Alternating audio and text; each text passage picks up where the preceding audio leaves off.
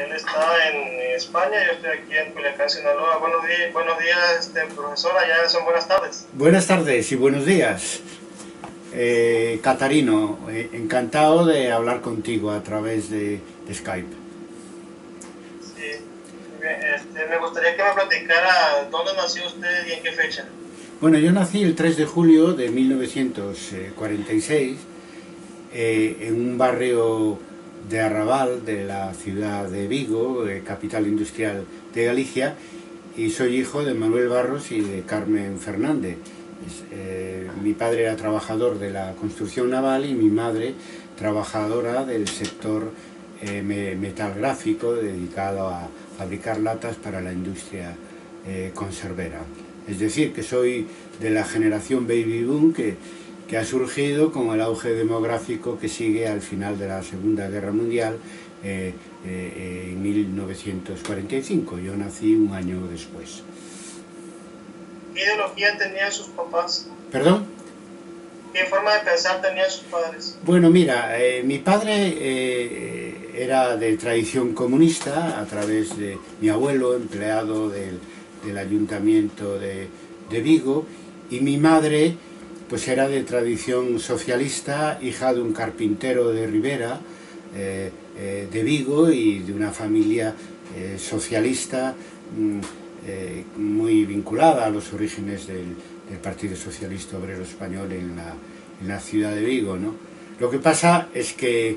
eh, yo cuando entré en, en, la actividad política, ya mm, pues, a tener inquietudes eh, políticas en pleno eh, franquismo, pues claro, me sentí siempre más cercano a mi padre y al Partido Comunista porque, como he sabido, especialmente en España, quizá menos en México, el Partido Comunista era el eje central eh, de la lucha democrática contra la dictadura de Franco, mientras que el Partido Socialista eh, prácticamente desaparece durante la larga noche del, del, del, franquismo. Entonces las propias circunstancias me llevaron más bien en la línea de mi padre, es decir, eh, eh, en las cercanías primero y después en la militancia y en la dirección del Partido Comunista de Galicia, que formaba parte del Partido Comunista de España. ¿En qué población me dice que nació? Pues Vigo, en, en, en Vigo, en la ciudad de Vigo, te decía, la capital. ¿Perdón? ¿Cómo era cuando, cuando, usted era niño? ¿Cómo era la población? Pues mira, Vigo es una ciudad de, eh, que tiene, en fin, una historia menos conocida que donde vivo ahora, en Santiago de Compostela, porque es producto de la industrialización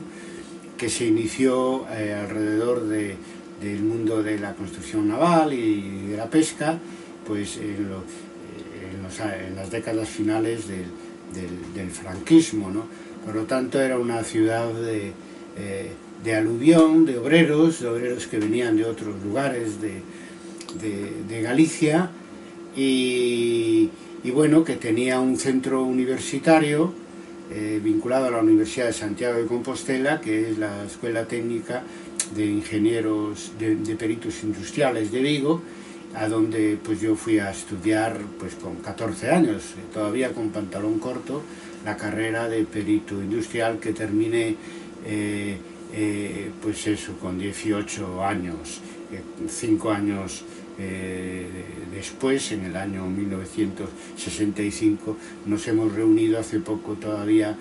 para nuestro 50 aniversario mi, mi promoción de, de, peritos industriales, que ahora después se llamaron ingenieros técnicos y ahora es, digamos, la, FAM, eh, la rama media de ingeniería en, industrial en España. ¿no? ¿Cómo fue su educación en su infancia? Pues mi, mi educación fue en fin, de estudiar, siempre me dicen los, los niños y las niñas con las que convivía en el barrio de Colla, eh, en Vigo, siempre fui muy estudioso, también animado por, por mi padre, eh, principalmente, y jugando, pues eso, en, en, las calles, como se hacía en aquellos años, pero retirándome eh, pronto y, y, siempre muy pendiente de terminar mis estudios de enseñanza de enseñanza secundaria no fue muy habitual. Yo fui de los pocos que estudió en, enseñanza media y, más todavía que accedió a la universidad. Eh, pero bueno, eso se lo debo en gran medida a Manuel Barros Fernández, eh, que, a quien conseguí ya, eh, pues, cuando se jubiló de, hijos de J. Barreras, el astillero en el que él trabajó toda su vida, convencí para que le hiciera sus, memorias. Y en esas memorias, pues claro, cuenta que, él quería que su, único hijo pues no fuera como él, un burro de carga y, tuviera estudios, lo que en aquellos años suponía un gran sacrificio para, para las familias, aunque yo siempre eh, estudié con beca, sobre todo una vez que accedí a la escuela de ingeniería. Ya en la, adolescencia, ¿qué tipo de ideas o enseñanzas le compartió a su papá? Bueno, en mi casa, sabes, eh, se escuchaba Radio España Independiente, la Pirenaica, la emisora que, que, el Partido Comunista de España tenía en el, este de Europa, eh, Radio París, eh, la BBC de Londres, etc. Es decir, que vivíamos en un ambiente pues, clandestino, pero conectado con el mundo, de, tipo anti, antifranquista. Mis, mis primeros recuerdos, por ejemplo, de indignación, pues, pues fueron por la huelga del 62 en Vigo, que fue la primera huelga importante durante el, franquismo, ya en, el año, en los años ya que se iban aproximando, aunque no lo sabíamos, al final de la, de la, de la, dictadura o los recuerdos de cuando asesinaron a Patricio Lumumba o la revolución cubana de 1959 en, en la época de la en el momento de la revolución cubana eh, pues yo tenía eh, pues eso 13 años. Y esos acontecimientos externos me fueron marcando más digamos la influencia de un hogar obrero eh, que vivíamos en fin con, las relativas estrecheces de, la clase obrera eh, en la España eh, franquista, pero donde se mantenía el espíritu republicano y sobre todo con, a través de una lectura, de la lectura que hacía el Partido Comunista, que prácticamente de todos los partidos republicanos, me refiero también a los socialistas, a los anarquistas, a los republicanos, a los nacionalistas periféricos, etcétera, pues es el único que continuó activo a lo largo de los 40 años que duró con la dictadura y lo cual nos llevó a los, a los jóvenes que teníamos inquietudes, eh, que queríamos un mundo más libre y un mundo, un mundo mejor a acercarnos a él. Eh, no solamente en mi caso, que, que, tenía, venía ya de unas influencias familiares, sino en el caso de muchos otros eh, compañeros que, que después conocí en la Universidad de Madrid, cuando en el año 1965 me trasladé allí a terminar la carrera de ingeniería, a hacer ingeniería superior y que en su enorme mayoría pues eran hijos de, profesionales, de clases medias o de, la propia burguesía que no habían tenido tanto esas influencias familiares y sociales e individuales, eh, pero que también, eh, insisto, pues eh, tenían las mismas aspiraciones que teníamos que tenía yo, que tenía aquella juventud, digamos que conocemos como, como la generación del 68 de, de cambiar el mundo. ¿no? Cuando, cuando estudia en Madrid, ¿perteneció a alguna organización política? Bueno, yo en Madrid es donde conecté eh, con la organización del Partido Comunista a través del movimiento estudiantil. De hecho, yo, mm, siempre me dediqué al estudio, sacando buenas notas, entre otros motivos, porque eso es lo que me permitía, me permitía mantener la, la, beca eh, para continuar estudiando. Y en la Escuela de Ingenieros eh, Industriales, estábamos en la Castellana allí de Madrid, vivíamos más o menos pues, el ambiente universitario que estaba más en, en la zona de, de Argüelles, es decir, donde ahora está el campus de la Universidad Complutense, pero bueno, me solía trasladar allí cada día para comer en, el restaurante del SEU, que era el sindicato fascista de los estudiantes, pero que tenía una serie de instalaciones que las utilizaban, por ejemplo, para comer eh, de una manera de una manera con precios reducidos y también en las pequeñas tabernas de la zona de, de Argüelles, de la zona de la, de la Moncloa y allí pues también con, con, jóvenes eh, estudiantes eh, que, conocía de, la ciudad de Vigo, que teníamos ahí un grupo de, de, de vigueses y con algún otro gallego importante. Y bueno, y a través de esas amistades pues eh, eh, entré en contacto con el movimiento estudiantil y dentro del movimiento estudiantil el partido que estaba organizando todo pues era el Partido eh, Comunista de España. ¿no? Entonces entré en la organización universitaria del Partido Comunista de España en el año 1967 y para entender un poco la conexión con México y, con, el, con, el, resto del mundo, eh, en mayo de 1968 organizamos se organizó, lo organizó, ahora mismo acabo de tener noticias de él, eh, con motivo del 50 aniversario de mayo del 68, allí conecté con Arturo Mora, un compañero mío de Industriales de Madrid, que fue el organizador de, de, del acto que se hizo en, lo que hoy es la Facultad de Geografía e Historia, que en aquel era la Facultad de Ciencias Políticas y Económicas de la Universidad de Madrid, donde eh,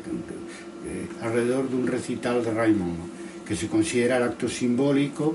eh, en fin, que enlaza el movimiento estudiantil español con mayo de 1968. Yo en aquel momento estaba en el comité universitario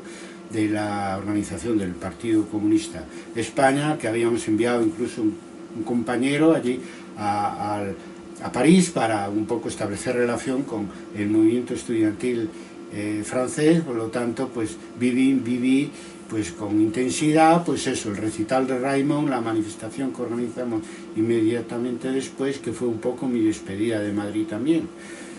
porque ya mm, eh,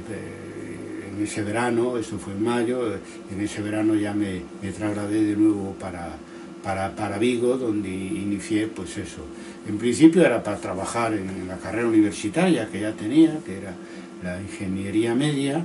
pero al mismo tiempo, pues claro, eh, para ayudar a organizar el Partido Comunista en, en, Galicia. ¿Y a quiénes contactó en Galicia al llegar con estas ideas? Bueno, en Galicia más bien conectaron conmigo ellos, porque ah, existía, preexistía una organización del Partido Comunista que nunca ha dejado de estar organizada, eh, de existir, eh, eh, desde el, fin de la guerra civil, concretamente en Vigo, porque en Vigo era una capital industrial en aquel momento y había un movimiento obrero importante, la empresa donde trabajaba mi padre, eh, hijos de J. Barreras, era un astillero eh, naval y, allí pues existió pues, desde el final de la guerra siempre organización comunista y, y, y, de donde sus, y otras ideas también, pero sobre todo eh, los comunistas eran los que estaban impulsando allí el movimiento obrero, ¿verdad? había una organización previa en Vigo a la que les llegó por la vía del aparato del partido el contacto conmigo y allí, empecé a trabajar pues, eh, pues en fin, en los movimientos sociales y también a integrarme en la organización del Partido Comunista. Digo los movimientos sociales porque yo realmente mi actividad en Madrid era el movimiento estudiantil, fui, fui de, delegado del Sindicato Democrático de la Universidad de Madrid por, por la Escuela de Ingenieros eh, Industriales, que era un sindicato organizado a partir de asambleas eh, en las escuelas y en las facultades en un contexto de dictadura. Eh, eso es muy difícil. Yo te creo que en una conversación previa te explicaba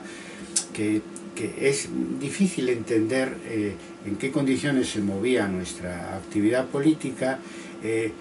a, en relación con la que existía en ese momento en toda América Latina y también en México, porque nosotros vivíamos bajo un, un régimen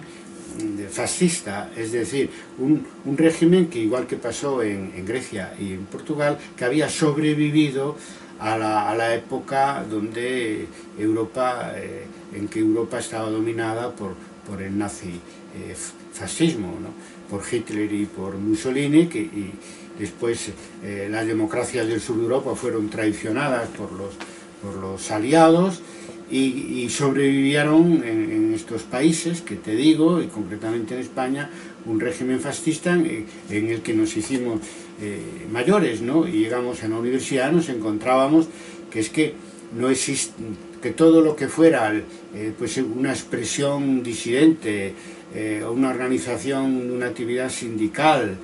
una manifestación, eh, cualquier cosa de estas estaba terminantemente prohibida y castigada, y castigada con, con, enorme dureza. Yo todas las veces que fui detenido, tanto en Madrid como después en Galicia, en su mayor parte o en su totalidad fueron por actividades que después de la transición estaban permitidas de tipo sindical, sea mm, de tipo sindical estudiantil o obrero o campesino, porque son los movimientos en los que yo estuve, estuve trabajando, o por, o por, por, por, propaganda ilegal que llamaban ellos, por tener prensa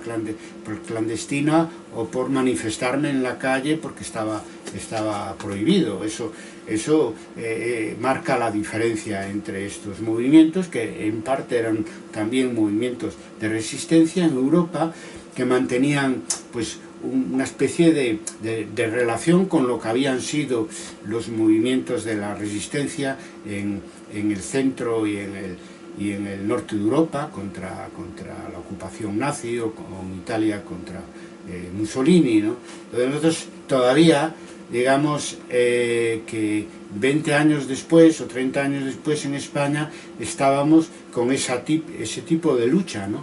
donde cualquier reivindicación académica, laboral, económica, sindical, se transformaba en, política, porque todo eso estaba eh, prohibido y donde eh, los miembros o los dirigentes, en mi caso el Partido Comunista, estábamos pues al mismo tiempo en un movimientos sociales que,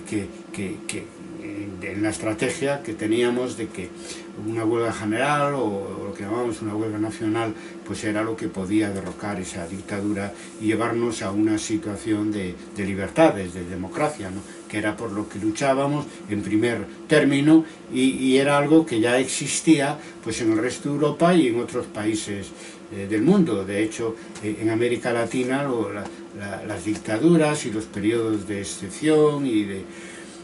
serán muy posteriores a, todo eso. Estoy hablando de una situación eh, muy, muy asfixiante para una generación que no tenía grandes problemas económicos, económicos me refiero a la generación universitaria, pero sí pues, que se sentía muy, muy frustrada en sus, sus aspiraciones de, bienestar y de, y digamos, de desarrollo cultural y de desarrollo profesional por la existencia de, una dictadura. Y eso es eh, lo que me llevó a mí, en definitiva, a la actividad política y, a dejar los estudios universitarios en Madrid. Cosa que tampoco fue elección mía, porque yo ya había sido detenido dos o tres veces, había sido multado eh, por actividades que se consideraban ilegales, eh, vinculadas a, pues eso, a manifestaciones, eh, a, la propia creación del Sindicato Democrático de Estudiantes, etcétera, y por lo tanto llegué a la conclusión, estando en Madrid, de que me quedaba poco tiempo en la universidad porque el siguiente paso sería la expulsión o algo, algo peor, y entonces decidí volver a mi casa con mis padres, bueno, a trabajar de ingeniero técnico, pero al mismo tiempo también a contribuir a, los movimientos sociales en, mi Vigo natal y en, y en, Galicia, eh, país que como sabes también pasa en Cataluña, también pasa, eh, pasaba y pasa eh, en País Vasco, etcétera, pues, pues que son países de una identidad muy fuerte y que a los propios naturales de estas, de estas, de esto que llamamos las nacionalidades históricas, pues nos tiraba y nos tira mucho, pues pues eso, contribuir, eh, decía, repitiendo las palabras, a su, a su bienestar, que ya no solo era, estaba vinculado con las libertades, sino que también en estos países estaba vinculado a, a sus derechos, mm, digamos, identitarios. Cuando, cuando vuelvo a Vigo, ¿quiénes lo contactan? Bueno, pues un compañero del comité local del partido, que lo recuerdo, le llamamos Ramón, que era un hombre eh, ficticio, ¿no? Utilizábamos apodos, como sabes, y, nada más conectar conmigo me recomendó que no me hiciera muy visible ni para que la policía no conectara conmigo. Yo venía de una realidad muy distinta, como es la universitaria, donde a pesar de, la dictadura eh, nos manifestábamos libremente. De hecho, organizamos un sindicato y elecciones y asambleas y reuniones pues eh, de manera ilegal pero masiva. ¿no? Entonces, obviamente la estrategia del Partido Comunista de España, que dirigía Santiago Carrillo, pues no era esa, era salir a la luz y aparecer públicamente. Y yo recuerdo que llegué pues en junio, en julio y en agosto ya organicé una levantada que le llamábamos al general Iniesta Cano, que es un, militar, en fin, franquista y además con fama terrible de autoritarismo y de,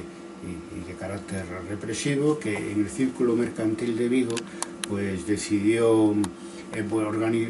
eh, pues una conferencia, no recuerdo el tema, y yo con otros compañeros eh, pues asistimos y invitamos a gente, a algunos estudiantes que estábamos por allí, pero también a gente de las empresas vinculadas a la organización del Partido Comunista, gente joven, y organizamos una, nos fuimos antes a poco de empezar la conferencia y la policía pues eso eh, estaba esperándonos porque tenían sus espías y etcétera y fue mi primer paso por la comisaría. Pero como eran muy inútiles y muy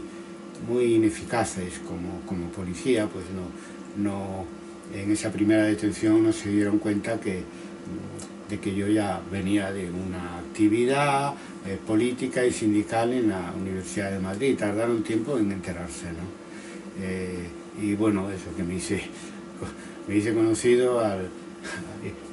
me, localizaron a, pues la noche siguiente de llegar, de llegar a Alicia, pero eso era la estrategia nuestra, la estrategia es estar con un pie en la clandestinidad, porque las reuniones y las publicaciones y, en fin, pues todo eso, claro, habría no había que exponerlo a la luz pública, porque la policía pues eh, estaba vigilando, pero sin embargo, eh, como,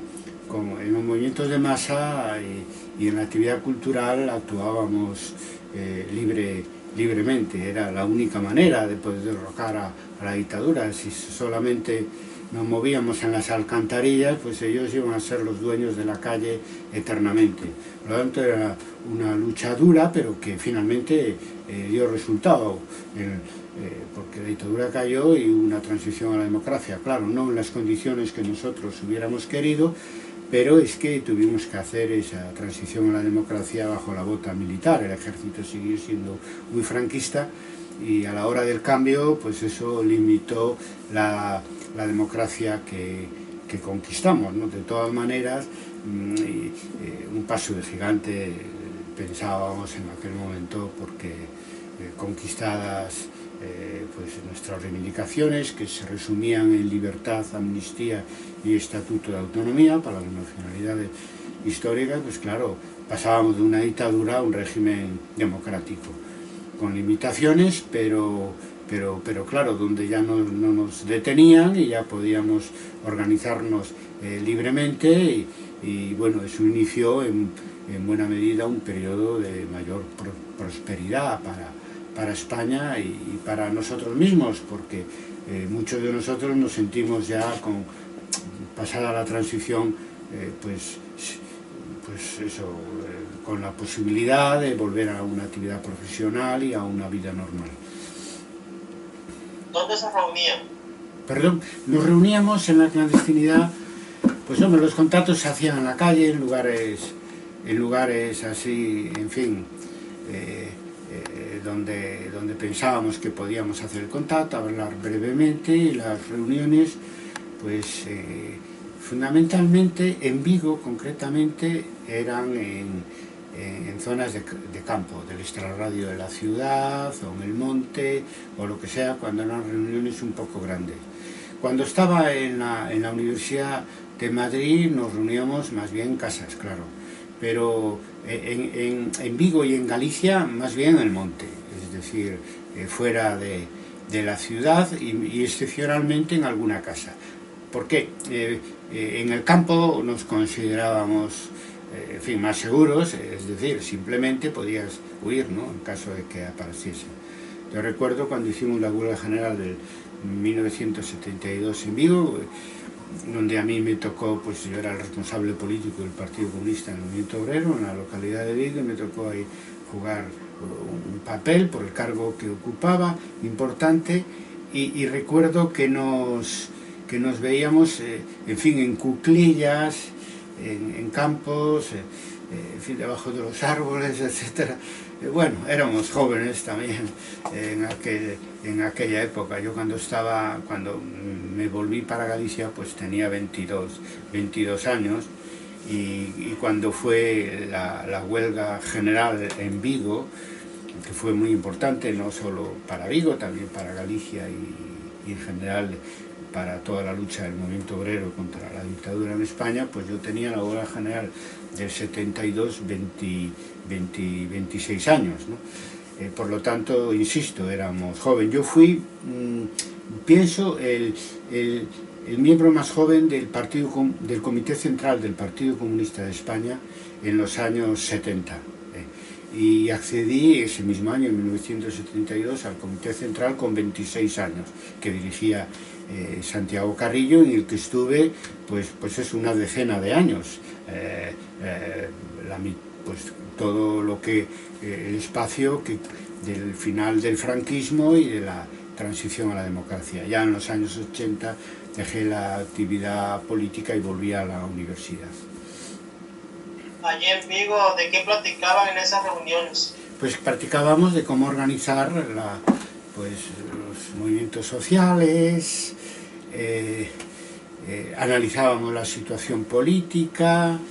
eh, pues, hablábamos de, publicaciones que, teníamos pues para difundir nuestras, nuestras, nuestras ideas, de temas organizativos, por lo tanto, que tienen que ver con la propaganda, con las finanzas, eh, etcétera. Y, muy en primer lugar, claro, en las reuniones políticas, pues, eh, pues eso, la situación política y, la estrategia del partido para, para alcanzar lo que era en aquel momento nuestro objetivo principal, que era el derrocamiento de la dictadura de Franco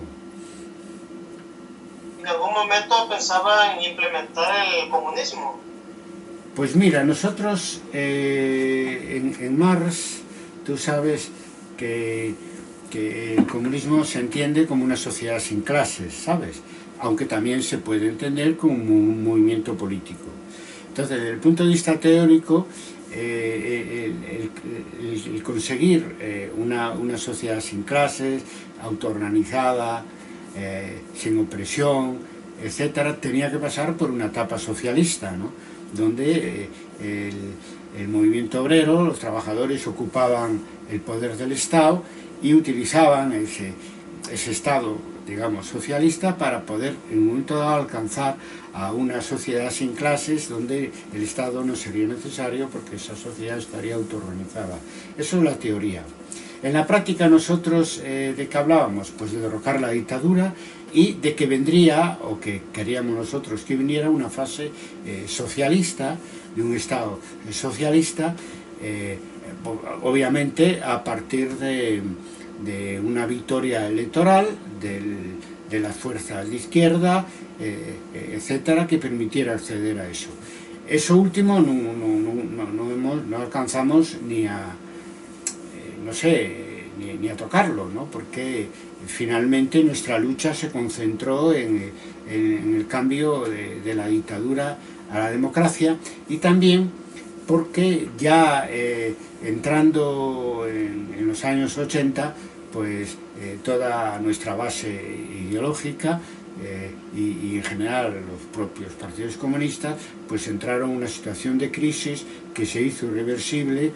en 1989 con la caída del muro de, Berlín. Por lo tanto, las circunstancias nos llevaron a, pues a concentrar el esfuerzo o a reducir nuestro esfuerzo y nuestra lucha y, digamos, y los resultados de nuestro esfuerzo y de nuestra lucha a la conquista de la democracia, que es muy importante, fue muy importante eh, entre otras cosas, a mí me gusta decirlo siempre, porque le permitió a nuestros hijos eh,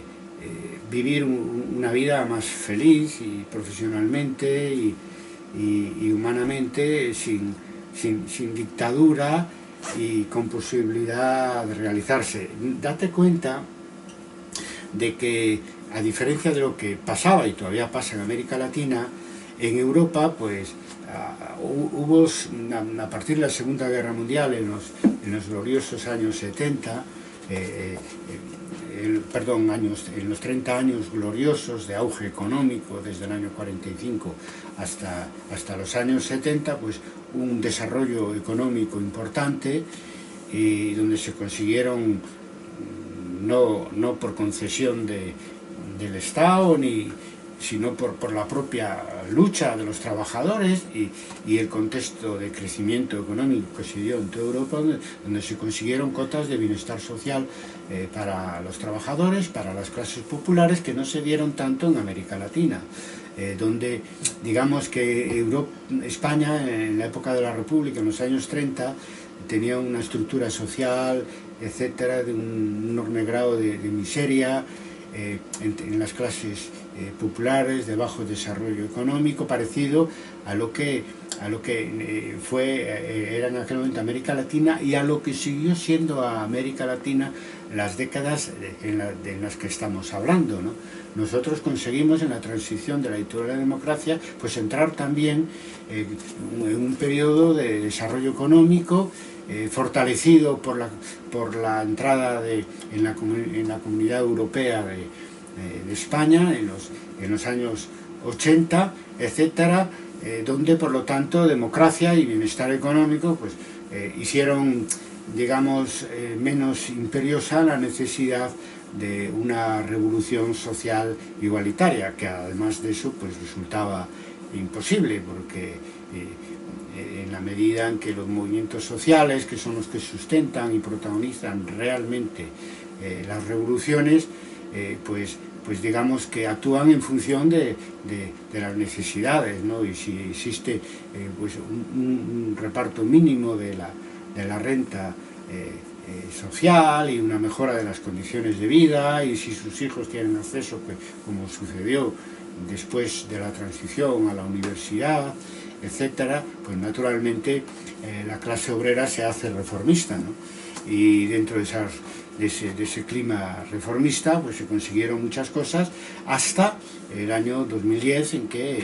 eh, los efectos de la crisis del 2008 llegaron a, a la clase obrera, también a las clases medias y se generaron otros movimientos sociales, como es el caso de los indignados, de los que, recordarás, yo hablé en el año 2011 en la Universidad de Sinaloa, cuando nos conocimos, por lo tanto hace siete años, y allí pues los expliqué con, con ese enfoque de historia inmediata que aplicamos en Historia de Debate, pues cómo se, eh, se evolucionaron los movimientos sociales en el mundo desde la revuelta de Chiapas en 1994 al movimiento de los indignados, que en España llamamos el 15M, en el año 2011. Pero en fin, eso, eso, es historia y ya se trata de movimientos contestatarios, también protagonizados eh, por los eh, eh, estudiantes, o más bien los licenciados universitarios, en general en España y en todo el mundo, como yo soy 132 en México, pero ya en un contexto democrático en el que se puede alcanzar el, el poder, como pasó en parte de América Latina, a través de la democracia lo que fue el sueño de Salvador Allende que se cumplió en lo que llamamos la América bolivariana. Pero bueno, de esa manera lo que hacemos es aterrizar en el presente y, tú lo que me habías pedido es que hablara más bien de, mi propia historia y, de, un pasado, pues, pues eso, que se remonta a 40 o 50 años. En eso estamos y sigo contestando a tus preguntas, querido Catarino. Sí, profe, este, cuando usted está en Vigo en estas reuniones, invitado por el, Consejo Comunista, eh, en estas reuniones había mujeres. Hombre, claro que había mujeres, es decir... ¿Quiénes eran? ¿Perdón? Sí, sí, había, había, son trabajadoras que, había y el Partido Comunista, eh, pues, había organizado el movimiento democrático eh, de mujeres eh, y era uno de los movimientos sociales que, que nosotros eh, impulsábamos. Claro que era, digamos, un, comienzo de, de, lo que después pues, conocemos como, como feminismo, un, embrión, porque y, más bien, pues eso, creado por el partido eh, y no tanto como sucederá posteriormente, que es lo que tiene validez, eh, creado por, por, las propias eh, mujeres en lucha contra la discriminación de, de, género. Date cuenta que estamos hablando pues a finales de los años 60, que son los orígenes también del, del, feminismo, que después se desarrolló como un movimiento absolutamente no solo autónomo, eh, sino independiente, como en general todos los movimientos sociales en los que el Partido Comunista estuvo implicado. Pero sí, tenemos el honor de haber estado en los comienzos de ese movimiento, o si quieres, pues nuestras mujeres, ¿no? Eh, porque muchas veces pues eran nuestras propias compañeras, como también fue mi caso, eh, las que organizaron el movimiento democrático de mujeres, incluso antes de que existieran movimientos estrictamente feministas. Y, cuando estos existieron también eh, se trataba de compañeras que eh, si no militaban en el Partido Comunista, militaban en grupos de, de origen maoísta o trotskista que también fueron importantes tanto en la universidad como, aunque menos, en, ya en las ciudades y en el movimiento obrero. ¿Quiénes serían esas mujeres? Pues esas mujeres, en el comienzo del movimiento democrático de mujeres en España, pues eh, nuestras mujeres, es decir, principalmente, eso es la realidad y otras compañeras eh, que se fueron uniendo eh, vinculadas a otros grupos de izquierda que después generaron un movimiento autónomo, aunque eso tardó años en, desarrollarse, ¿no? De hecho, el movimiento feminista, igual que el movimiento ecologista, también nacido en los años 70, llegará a su esplendor eh, mucho después. Bueno, en el caso del, feminismo, pues acabamos de vivir em, el último 8 de marzo una jornada mundial que eh, eh, con, el, día, aprovechando el Día de la Mujer en todo el mundo, como sabemos, originado en Estados Unidos, por la muerte de, mujeres trabajadoras, etcétera. Y aquí en España tuvo el pasado 8 de marzo pues una dimensión absolutamente espectacular de, movilizaciones, ¿no? Todo eso pues nació en aquel momento donde en embrión, vinculado a los partidos políticos de izquierda, pues se fueron organizando primero en nuestro caso el Movimiento Democrático de Mujeres y pues la coordinadora feminista entre mujeres de diferentes adscripciones políticas, generalmente eh, de izquierdas, etcétera. Te estoy hablando pues de hace 50 años, ¿no? Y en, el PSE, eh, ¿cuál era la, ideología? ¿Había galleguismo? Perdón, ¿había qué? Eh, galleguismo. Galleguismo. Ah, sí, sí. Mira, digamos que existe una tradición muy que viene ya de, de la época de la Segunda República, de movimientos eh, nacionalistas, sobre todo en, Cataluña, eh, País Vasco y, Galicia, ¿no? Eh, con mucha influencia en la izquierda. De hecho, en Cataluña existía el Partido Socialista Unificado de Cataluña, donde estaban comunistas y socialistas, que era un partido, en fin, hermano del Partido Comunista de España, pero independiente. Después se creó el Partido Comunista de Euskadi y en el año justamente 68, a finales, yo me trasladé con otros eh, compañeros a, París y creamos el Partido Comunista de Galicia, pues ayudados por Partido Comunista de Francés, eh, pues entrando clandestinamente en, Francia, ¿no? Y, y, esa era un poco, respondía a esa reivindicación que viene de Lenin ya, de, del Partido Comunista de España, de reconocimiento de la pluralidad nacional eh, de España, cosa que después logramos que estuviera presente eh, en la elaboración de la Constitución en el año 1978, en su artículo segundo, donde, claro, se reafirma la unidad nacional de España, pero al mismo tiempo se reconocen los derechos de las tres nacionalidades históricas, que son Galicia, Euskadi y Cataluña. el Partido Comunista estaba ahí en primera fila, sin ser, digamos, un partido eh, nacionalista en sentido estricto como eh, como eh, se formaron, en aquel momento ya existía eh, organizaciones nacionalistas en Cataluña, en, País Vasco y, también en, Galicia estrictas, de izquierda o, incluso de actitud de, ideología política más, moderada, ¿no? es decir, mm, la represión del franquismo se cebó en, en los movimientos de izquierda, es decir, comunistas, socialistas, anarquistas, pero también eh, se asesinaron eh, a, dirigentes y a militantes del Partido Galleguista, del Partido Nacionalista Vasco o, de, los partidos nacionalistas eh, catalanes, Guerra Republicana y otros. Sí, el, PSG tenía orientación, digamos, eh, leninista, era trotskista, stalinista, ¿cuál era la, el que impedaba? Bueno, el Partido Comunista de España, nosotros formábamos, teníamos parte del Partido Comunista de España, éramos una organización autónoma, pero formábamos parte del Partido Comunista de España, pues era un partido marxista, ¿no? Obviamente, en el pasado marxista-leninista, pero eh, al mismo tiempo anti-stalinista, ¿no? Es decir,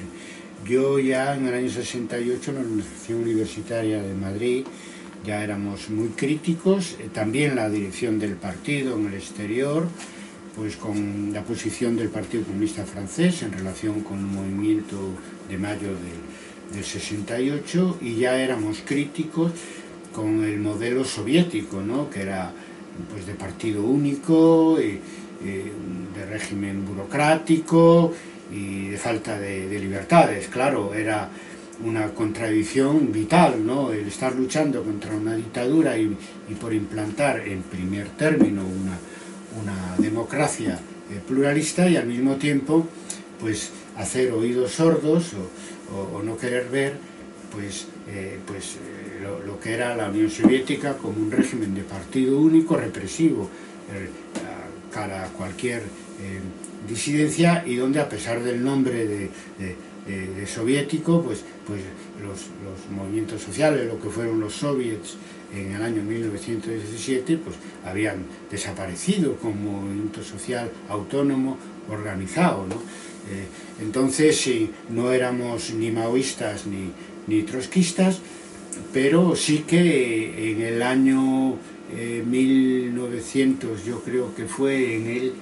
en el 78, en el 78 cambiamos eh, los principios ideológicos marxistas-leninistas por, por una denominación de marxismo revolucionario que era la que, la que tuvo, que era la que tuvo un origen el partido bolchevique, por cierto, que es la que mantuvo siempre el trotskismo, justamente para distanciarnos de lo que supuso eh, el, estalinismo como régimen eh, burocrático y como régimen eh, represivo. es decir, que en España, el Partido Comunista, también en Italia y, en menor medida en Francia, etcétera, éramos lo que fuimos lo que después se llamó ya en los años 70 el eurocomunismo, es decir, que nos renunciamos a la dictadura del proletariado, que, en la práctica fue una dictadura política eh, en el este de Europa y, en la Unión Soviética, y lo sustituimos por lo que llamamos un socialismo en libertad. Es decir, sin considerarnos reformistas, considerábamos, entendíamos que nuestro objetivo es construir un socialismo, en fin, que fuera que fuera revolucionario, pero eh, eh, democrático, ¿no? donde eh, la, gente pudiera participar de manera pluralista en las, en, las, en las decisiones. En fin, en la línea de lo que, ya lo dije en una respuesta anterior, defendía Salvador Allende y en, y en la línea de lo que Dubček defendía en, el, fabuloso año 1968 para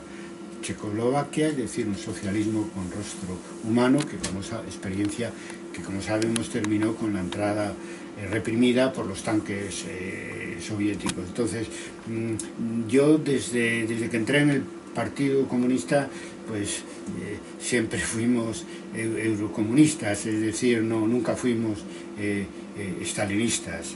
y más todavía en la organización universitaria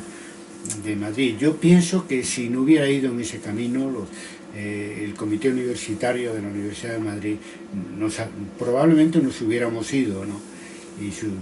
Pero el tema eh, con esto que te quiero decir, que es que no estábamos en el Partido Comunista porque fuera estalinista, eh, sino que estábamos en el Partido Comunista para luchar contra la dictadura, porque era eh, el instrumento que teníamos a mano para luchar contra la dictadura y después con, por un régimen socialmente igualitario, que llamábamos un régimen socialista. Entonces casaba eso muy mal con la lucha contra la dictadura, con con el ejemplo soviético de una dictadura que ya no era del proletariado, sino de, una burocracia que además reprimía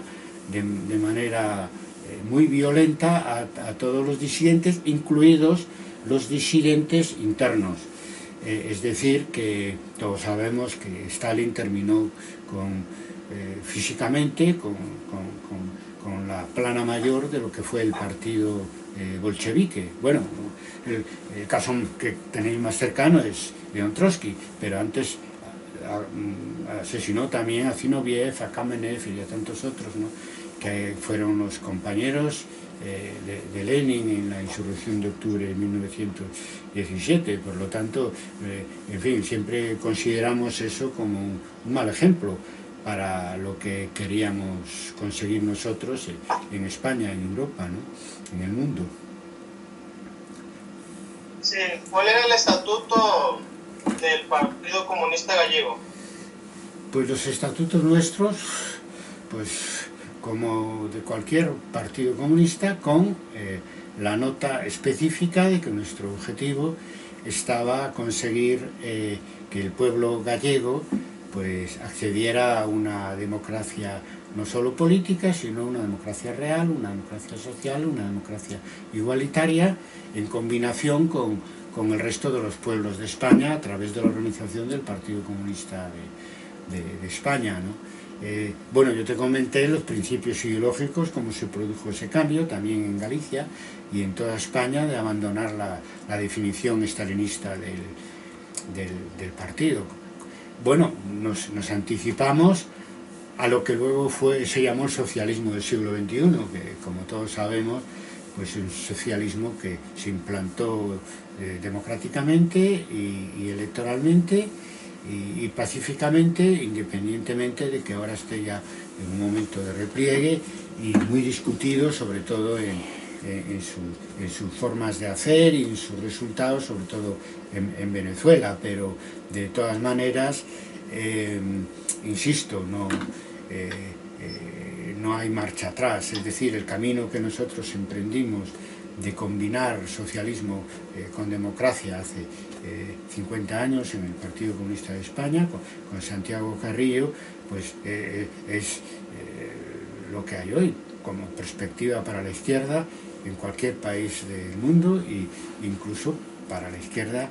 digamos que podemos considerar cercano al marxismo o marxismo en sus definiciones. En ese sentido fuimos eh, precursores ¿no? de, en cuanto a abandono de la dictadura del proletariado y a luchar por, por un socialismo eh, democrático que no fuera eh, como, como el, modelo que finalmente imperó en la socialdemocracia de, adaptarse, digamos, al régimen capitalista hasta el punto de, abandonar cualquier eh, deseo de cambio, cosa que incluso fue más notoria en América Latina que, en Europa, donde algunos partidos mantienen la de derechas mantienen en, su, en, su, en, sus estatutos la definición de, socialdemocracia. eso es lo que no queríamos, queríamos y queremos en la medida que esas ideas, pues yo las sigo manteniendo, ¿no? Queremos un régimen socialmente igualitario, pero que al mismo tiempo sea democrático y donde el protagonismo sea para la gente, ¿no? En esta temporada, en estos años que me está platicando, ¿usted profesaba alguna religión? Bueno, mira, yo siempre he sido, digamos, eh, pues más o menos agnóstico. Por la generación a la que pertenezco, pues naturalmente pues fui a catequesis, eh, hice la primera comunión, tengo ahí una fotografía vestido de almirante, etcétera. Eh, por lo tanto, seguí el camino de una familia normal. Mi padre no era especialmente eh, creyente y mi madre, pues sí, pero más bien por convención que por otra cosa. Pero sí que lo era y fue, enseñó catequesis en la, en la iglesia y eh, algo que sé que tú conoces bien. Pero mm, nunca, más allá de las convenciones, nunca fue fui especialmente eh, creyente y ya en la Universidad de Madrid, pues las lecturas que me facilitaba Arturo Mora y, que se conseguían clandestinamente, pues me hizo, me, llevaron al marxismo y, por lo tanto al ateísmo eh, filosófico, aunque tengo que, que, confesar, nunca mejor dicho el término, que mis relaciones con la Iglesia eh, siempre fueron en general de buen recuerdo, ¿no? desde, desde, niño hasta, hasta yo que sé, cuando pasé, me tocó pasar la represión por la solidaridad eh, que tuve por parte de, los sectores más progresistas de la Iglesia, te cuenta que yo en el Partido Comunista eh, pues coincidí con compañeros, camaradas, decíamos en aquel momento, que eran curas y que, que estaban con nosotros en esas mismas luchas, eh, también curas obreros que trabajaban eh, en las fábricas. Y ¿Cómo quiénes? ¿Son nombres? Eh, pues nombres de curas, de curas obreros, pues yo qué sé, o de curas progresistas, yo qué sé, en Vigo, Alfonso eh, Magariños, ¿cómo se llamaba Mariluz, el cura de cura Paco. No, en España el cura Paco, en Madrid. Y, también en el Pozo del Tío Raimundo el Padre Llanos, pero en Vigo y en Galicia. ¿Se llama Paco? Eh, pues, pues, pues sí, eh, yo que sé, Barreiro Somoza, que también, que o eran del partido, eran cercanos al, al partido y,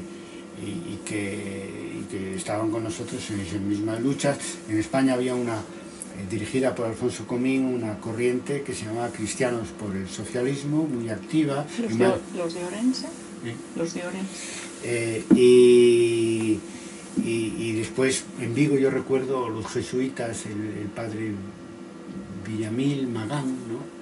etcétera, que nos ayudaban, sobre todo al movimiento obrero, hacíamos reuniones en los colegios de los jesuitas, hacían asambleas eh, de trabajadores, en Madrid estaba el padre, el padre Llanos, en el pozo del tío Raimundo, es decir, que había bastantes curas en el Partido Comunista, ¿no? y que eran eh, compañeros, y eso forma parte de lo que yo te decía, que siempre tuve buena relación, y cuando a mí me, me, agarraron, como lo digo porque para los mexicanos que escuchen eso, para no decir coger, ¿no? Eh, en Orense, cuando estábamos con el movimiento de las comisiones eh, campesinas y, ahí tuve que pasar por la tortura, pues, hombre, un,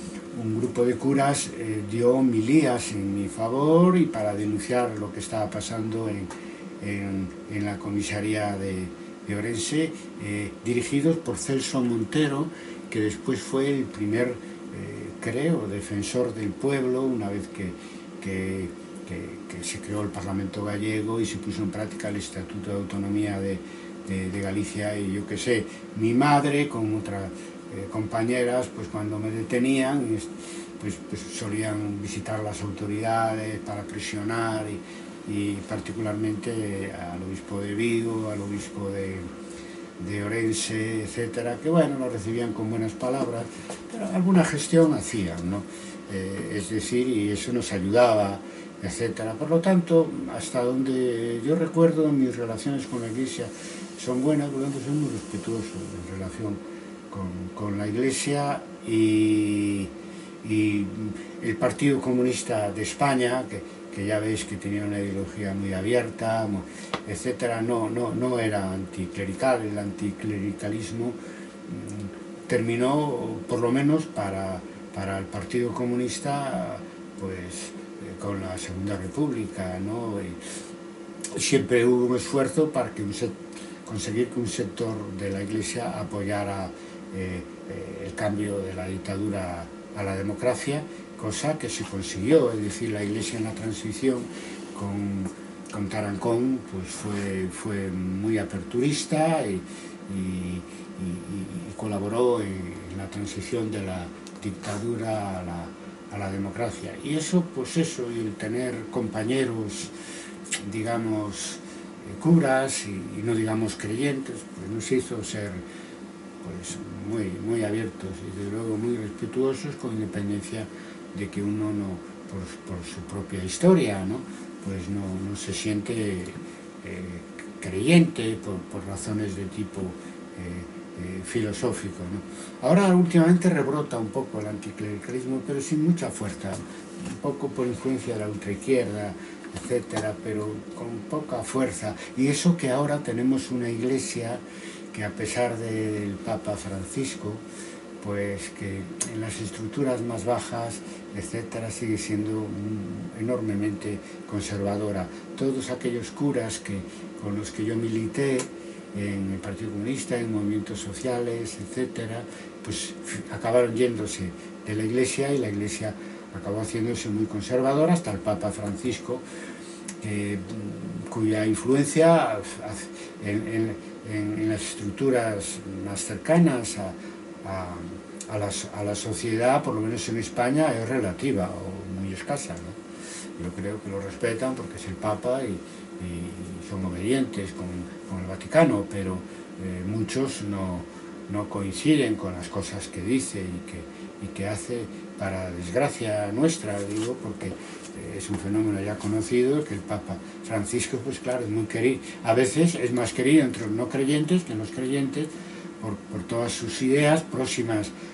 al Evangelio y próximas a esa manera de entender eh, la Iglesia vinculada pues, a, la, solidaridad y a, las causas sociales, ¿no? que, que, están en, el propio, en la propia vida y en, el propio, los propios evangelios de la vida de la vida de Jesús. Pensamos, date cuenta que además de lo que te decía, que siempre me, me, sentí pues, pues eso, con una actitud positiva hacia la iglesia, es que además soy historiador medievalista, ¿no? y, que, que para un estudioso de la Edad Media, pues, pues, pues la iglesia es fundamental y, las creencias eh, eh, religiosas son fundamentales porque era, digamos, la ideología, por, hablar con términos actuales, de aquel momento absolutamente hegemónica y, era, y todos los movimientos, incluso contestatarios, eh, que podía haber y que yo estudié, como sabes que hice mi tesis doctoral sobre la revuelta de los irmandiños, pues de alguna manera se daban, tomaban referencias del propio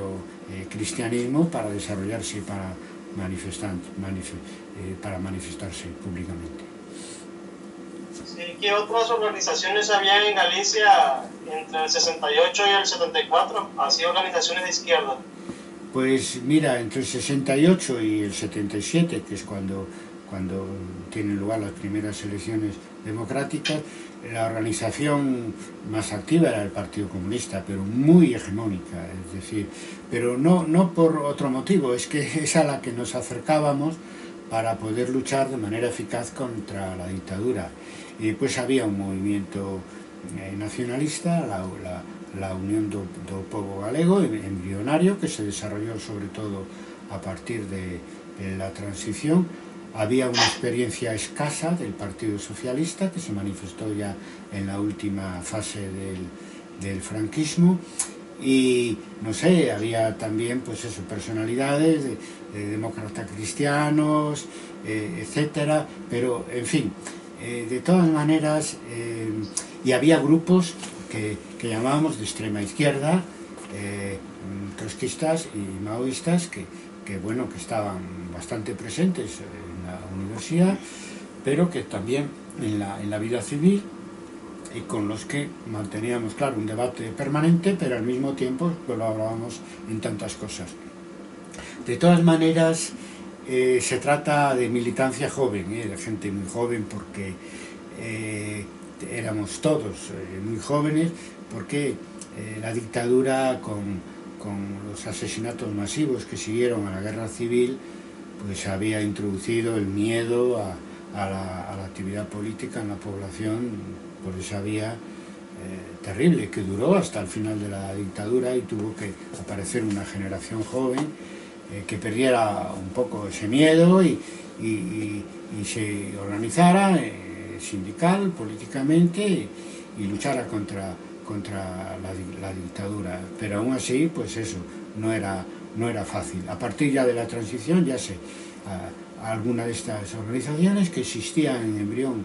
en el, en el tardo franquismo pues se desarrollaron más, etcétera con la excepción, digamos, siempre del Partido Comunista que fue hegemónico en Galicia y en toda España en la, en la lucha contra la dictadura, al que nos acercábamos todos, en fin, buscando, eh, en fin, eficacia en, en, esa, lucha, esa lucha, asumiendo los riesgos, eh, naturalmente, que suponía enfrentarse abiertamente al régimen de Franco. Cuénteme sobre situaciones de represión que vivió. Bueno, las situaciones de represión eran, eh, derivaban de, la propia actividad que teníamos, ¿no? Eh, todo lo que hacíamos cuando nos reuníamos, cuando escribíamos, eh, cuando nos manifestábamos, cuando organizábamos, nos organizábamos, todo estaba prohibido, por lo tanto podías estar ser reprimido en cualquier momento. Todos los que tuvimos, digamos, una parte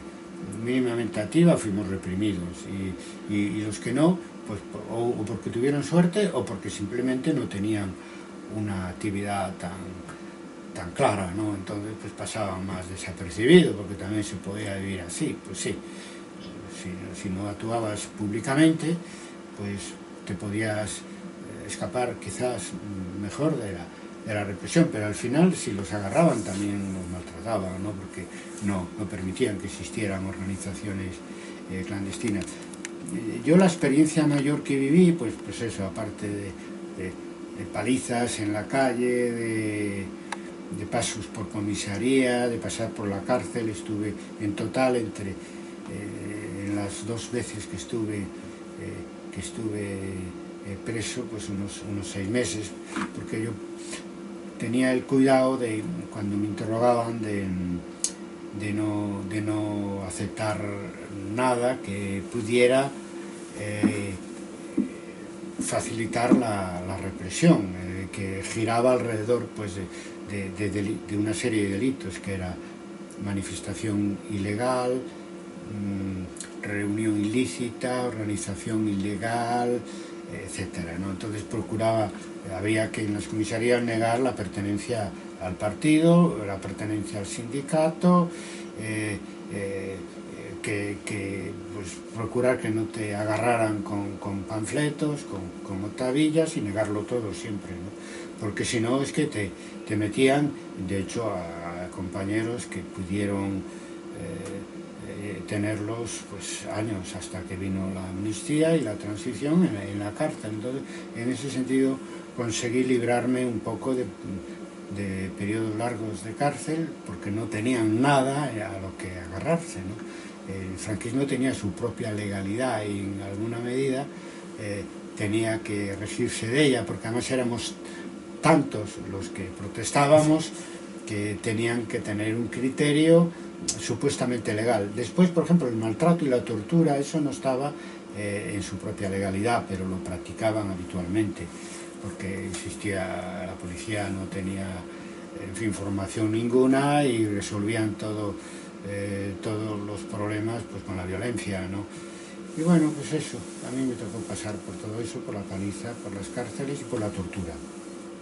Estando eh, en el año 1969, 70, 71 en Orense, que es una provincia orense, una,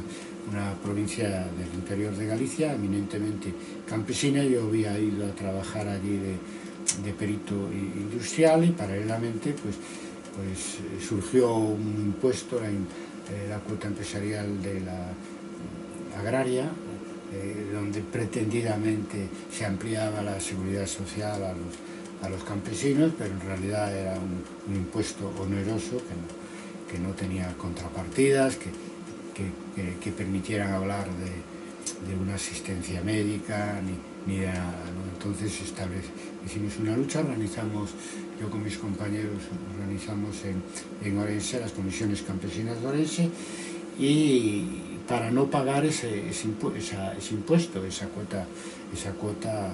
campesina. ¿no? Y, y, bueno, pues fue a través de, las octavillas que repartíamos por toda la provincia, pues nos fueron, fueron deteniendo campesinos hasta llegar a mí, que era digamos el que dirigía eso con otros compañeros en la capital de la, de, la provincia. Yo estaba en busca de captura en ese momento por otros temas vinculados también a mi actividad eh, clandestina y, y, bueno, me consiguieron pues a base de pegarle a los compañeros, eh, eh, llegar hasta mí, no sabían mi nombre real porque en el partido y en comisiones campesinas actuábamos con nombres falsos y, bueno, pues eso, ahí me tuvieron una semana, me torturaron y conseguí salir libre de, de culpa, diríamos, es decir, conseguí que aceptaran, eh, que firmara una declaración negando todas las acusaciones que había sobre mí. Después denuncié a, un juez, tuvimos suerte, Gómez que, que ya mis compañeros que salieron de la comisaría antes que yo ya habían denunciado lo que estaba pasando conmigo y ese juez inició un expediente eh, que después fue sobreseído eh, por el propio régimen acusando a tres policías de, de torturas. Ese es un tema que todavía está pendiente y estamos esperando que la memoria histórica llegue hasta la transición, ¿no? Y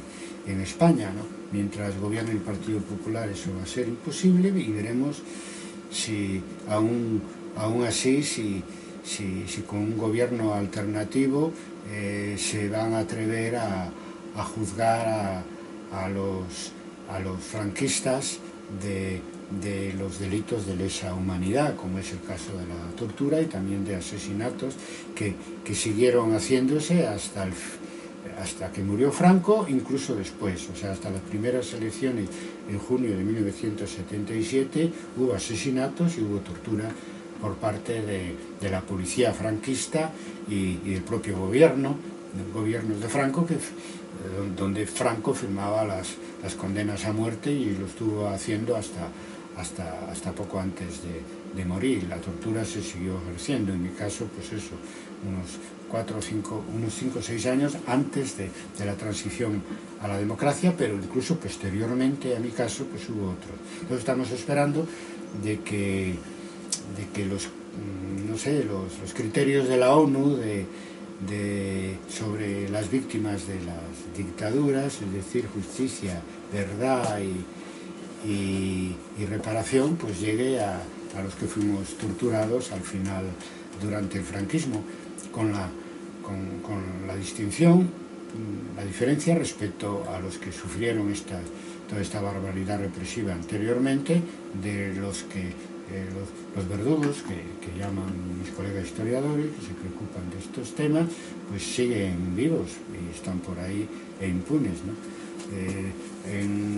en, el acta abierta contra el franquismo por la jueza Selvini en, en Argentina, pues se, se, se, se, pidió, se pide al gobierno de España que la extradición de Billy Niño, un torturador muy conocido de Madrid, que ha sido denunciado por, por, por, sus víctimas en Argentina, porque aquí en España no se puede hacer justicia con el franquismo, porque se, eh, interpretan de una manera ilegal, en el sentido de, que transgreden el derecho internacional, la ley, de amnistía de 1977, como una ley de impunidad a los represores franquistas. Pues bien, el Niño anda por Madrid, por las calles, perseguido a veces por los fotógrafos y los, y los periodistas y el gobierno español de, de Rajoy se, se, sigue negando a, extraditarlo a Argentina para que sea juzgado por, por, sus crímenes, en este caso la tortura. Igual pasa con otros menos conocidos, ¿eh? porque se torturaba en todas las comisarías eh, de España, allí donde ellos pensaban que, bueno, pues pues eran militantes o dirigentes que podían, mm, de los que podían obtener una información que, les permitiera desarticular, eh, en este caso, pues la, organización eh, sindical o, eh, que, que yo había creado con mis compañeros para la defensa de los campesinos de Orense. Aparte del,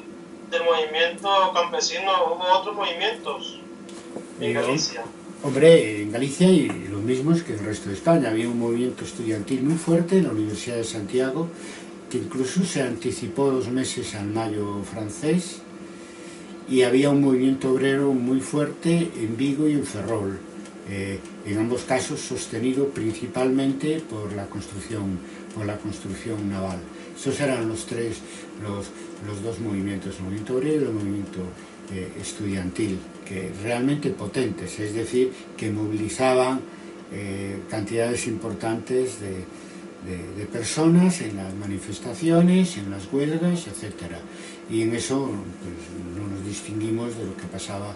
en el resto de España. Eso ha sido, digamos, el gran éxito del Partido Comunista y de otras organizaciones de izquierda, el crear esos movimientos que además se trataba, en el caso tanto estudiantil como obrero, de movimientos autoorganizados, es decir, que elegían sus dirigentes, etc. Muchos del Partido Comunista, pero es que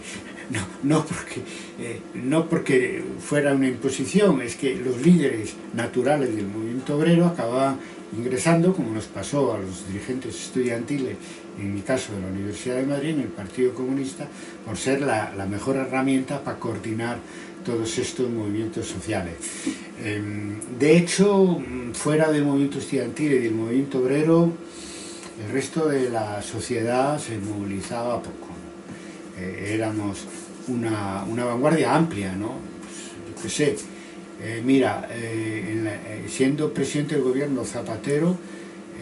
pues un organismo público mm, elaboró una base de datos sobre víctimas de la represión franquista mm, de poca y, de mucha entidad, desde multas, digamos, hasta casos de homicidios o de, torturas. Y salieron 4 millones, ¿no? digo que hubiera otros participantes que no hubieran sido reprimidos, pero bueno, eh, en realidad a mí me dijo la, policía al llegar a Vigo que decía que cuando el cántaro va a la fuente alguna vez se rompe, ¿no? Y en eso, pues mira, tenían razón, 4 millones, o sea que eh, en una España que en aquel momento, pues yo qué sé, debería tener 30, más de 30 millones de habitantes, etcétera, pues unos cuatro o cinco que nos movilizamos eh, en, toda, en, toda, en toda España, ¿no? Eh, pero de una manera activa y de una manera muy intensa, porque tal como era la militancia social y política en aquellos años. ¿no? De hecho, eh, en fin, era, era, te ocupaba todo el día y, al final, para los que teníamos mayor responsabilidad, eh, pues es que no podías hacer otra cosa también porque ellos no te dejaban hacer otra cosa, ¿no? Es decir, la represión en ese sentido no solamente era eran detenciones, palizas, torturas, cárceles, es que también era negarte cualquier vida laboral, ¿no? Yo de vuelta a Madrid intenté, de vuelta de Madrid a Vigo, intenté pues entrar en una empresa grande, por ejemplo en Citroën, donde todavía hoy es una empresa muy importante, la más importante en Vigo hoy, eh, por la crisis de la construcción naval, y nada, imposible, porque en ese momento ya la policía me tenía localizado y, y en las empresas en Vigo y yo creo que en otros centros industriales en, España también tenía un miembro de la Brigada Político-Social con oficina allí, ¿sabes? Con un despacho que se encargaba de controlar a los trabajadores y, y por donde pasaban también, digamos, todas estas peticiones, demandas de empleo, etcétera. Por lo tanto, en este sentido, ellos mismos te obligaban a, a una entrega total ¿no? a, la lucha contra la dictadura, con lo cual fue naturalmente, pues, eh, no sé, una gran victoria también individual eh, con, conseguir eh, la caída de la dictadura, la implantación de la democracia, aunque supuso también para nosotros y para todos los que participamos más activamente en, en, la lucha por la democracia, cierto desencanto, se llamó el desencanto, después de la transición se empleaba mucho el término, porque claro, nuestras aspiraciones iban más allá, y porque en los propios pactos de la transición pues hubo que limitar el alcance de nuestra democracia bastante por, eh, eh, porque surgen de, de, un acuerdo entre la oposición antifranquista y los sectores más liberales del régimen de Franco, donde hubo que hacer concesiones por ambos, por ambos lados. Pero aún así el balance naturalmente fue muy positivo, ¿no? sobre todo en aquellos años, hoy ya no tanto, porque pasados 40 años esa democracia no, no, no ha superado sus limitaciones iniciales, no, no se ha actualizado, en ningún momento se, se, se introdujeron cambios eh, en la Constitución para adaptarse a las generaciones presentes, a los tiempos presentes, y ahora vivimos una crisis del régimen democrático eh, tremendo que, se, que, a diferencia de lo que ocurrió con el régimen franquista, la crisis actual, que también es económica, el régimen también tiene que ver con la crisis económica del régimen democrático, se va a resolver obviamente de manera democrática, es decir, otros partidos, espero, de izquierda, eh, incluido el que puede ser más cercano a lo que fue el Partido Comunista en aquellos años, pues deben y están tratando de generar una alternativa para, para sustituir a los herederos del franquismo, a la, a la derecha eh, que claro, que también pudo acceder al poder de manera democrática, igual que pudo la izquierda eh, a partir de la, de la transición. Entonces estamos en ello, la democracia en España sigue, sigue funcionando y igual que vosotros podéis votar y probablemente gane a Andrés López Obrador en, las elecciones de este año, pues ahora mismo aquí se, se está discutiendo una moción de censura por parte del Partido Socialista con, la, con el apoyo de Podemos y de otros para sustituir al Partido Popular en el gobierno. Eso fue nuestra gran conquista, eh, poder alcanzar eh, regímenes más justos a través y, y más democráticos, no solo políticas, sino eh, socialmente, a través de, del voto. Cuénteme sobre Baldino Varela. Bueno, mi compañero Baldino Varela eh, lo, lo, conoces porque por el homenaje que acabamos de hacerle y, y que yo he hecho, he difundido bastante por, por, nuestras redes, las mías personales, pero también por las redes de Historia de Debate, pues ese, ese, ese vídeo que se hizo sobre la vida de Baldino Varela. Es un trabajador de la construcción naval del astillero Vulcano, que, que, refleja toda la historia del movimiento obrero en Vigo de, en el siglo XX, eh, ahora ya tiene 85 años, y él mismo, pues, bueno, también de orígenes republicanos y de izquierdas, como, como todos nosotros, él es mayor que yo, pues unos 15 años más, mayor que yo, etcétera, pero también con los mismos orígenes ideológicos, como tantos de nosotros, que, y que, pero que desde muy pronto eh, mostró una gran vocación para, para la actividad sindical, primero en los sindicatos del régimen, los sindicatos verticales, que, eh, que el partido, él entró en esos sindicatos pues, siguiendo la orientación del Partido Comunista, por cierto, inspirada en, el, en Lenin y, lo que hizo el partido bolchevique en la época del zarismo, de trabajar dentro de los sindicatos oficiales y, ahí desarrolló pues eso, un buen trabajo eh, desde el punto de vista comisiones obreras y después del Partido Comunista en el que entró él un poco más, más tarde. Todo fue mi, compañero del alma en la huelga del 72 en, en Vigo, del que aprendí mucho y porque, bueno, yo llevaba la responsabilidad eh, política desde el punto de vista del partido en, esa huelga, hacía las, hacía las octavillas, el periódico de comisiones, eh, un poco discutía con ellos pues, la orientación de esa huelga que paralizó la ciudad durante dos semanas y él pues era eh, el líder natural de ese, ese movimiento muy asambleario en unas condiciones durísimas, llegó a haber 4.000 despedidos entre los trabajadores que después se, redujo y también pues, muchos de ellos, como Baldino y otros, pasaron por las comisarías con malos tratos y con torturas en algún caso eh, concreto. Una época muy dura y, ya digo, un compañero y un amigo, un amigo del alma que sigue manteniendo, como se vio en el discurso que hizo, en homenaje que acabamos de hacerle esa frescura que teníamos ya eh, en nuestra, en nuestra juventud, de un movimiento que,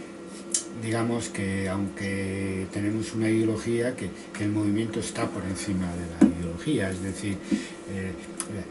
la, ideología después de la gente, lo primero la gente, en este caso los trabajadores, y él sigue pensando eso también, yo, yo coincido en que lo importante es, es, el bienestar de los trabajadores, no que se cumplan nuestros planteamientos ideológicos, ¿no? etcétera, que pueden estar equivocados y que deben al mismo tiempo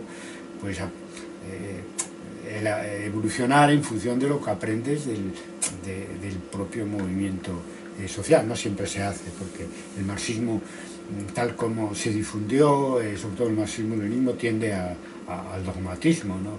y, por eso muchas veces partido esas características y con esas ideologías tan cerradas queda marginado socialmente cuando, cuando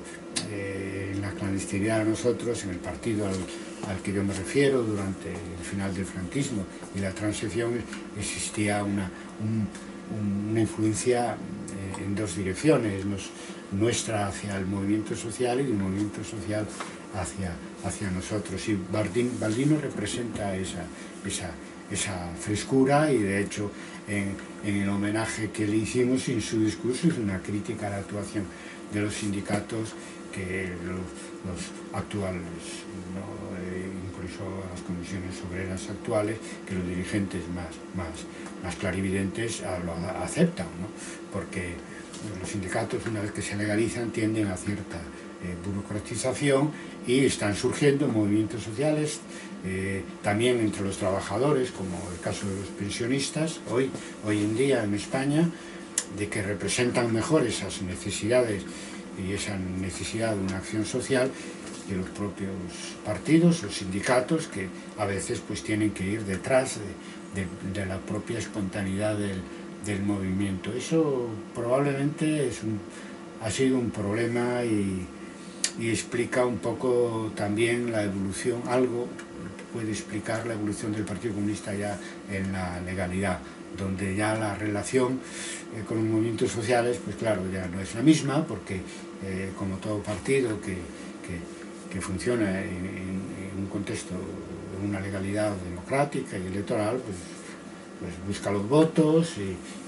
todo eso, por lo tanto, eh, como, como, como, tarea principal y tarea objetiva, por lo tanto a veces esa, esa, esa vinculación con, con, la gente, con el movimiento social, eh, se pierde, aunque en España la ha recuperado claramente un, nuevo partido, que es Podemos, que ha surgido de ese movimiento social y al que se ha incorporado también el Partido Comunista e Izquierda Unida, ¿no? bueno, en el sentido de que han creado una Unidos Podemos y, están por lo menos en el Parlamento trabajando, trabajando juntos, ¿no? dentro del mismo grupo eh, parlamentario. Es así, no hay ni ideología ni partido que dure eternamente y que tenga la verdad siempre, ¿no? sino que los partidos, como los sindicatos, como todo lo que tiene que ver con la vida social eh, política o con la vida en general, pues evolucionan, tienen inicios, momentos eh, culminantes y, momentos pues de, repliegue y son sustituidos eh, pues tanto los dirigentes como, como las propias estructuras políticas, ideológicas por otras. Eso es el movimiento de la historia. Y eso es algo que como historiadores sabemos eh, muy bien, pero eh, desde el punto de vista del militante o dirigente político, pues a veces pues no, no hay tanta claridad y se tiende a defender eh, lo propio ¿no? y, vivir al, al margen de lo que sucede fuera de tu organización en el ámbito social. Por eso se producen sorpresas como fueron el 15M en España para, los partidos de izquierda o, u otros de, esas, esas características. Es algo, sin embargo, que por lo menos hasta ahora en México no ha pasado con, con Andrés Manuel López Obrador. ¿verdad? Creo que no sé lo que pasará en el futuro que en mis múltiples visitas a México, llevo 20, casi 30 años viajando por razones académicas, de hecho tú y yo nos conocimos eh, en un congreso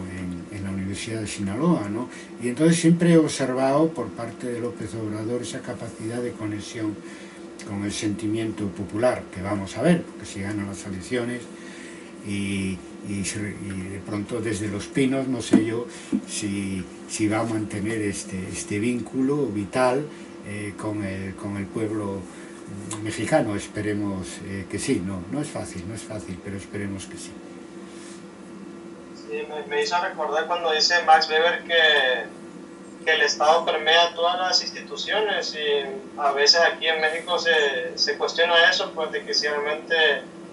ganaría él y que si hubiese un cambio, pero pues eso todavía no, no lo podemos ver. Lo veremos, espero. De, de todas maneras, eh, lo que tú dices eh, es cierto, y Weber tenía razón, y eso se resuelve manteniendo movimientos sociales activos que actúen de contrapunto de las estructuras políticas. Entonces es muy importante, porque el problema es que los que se movilizan alrededor socialmente, en un momento dado pueden considerar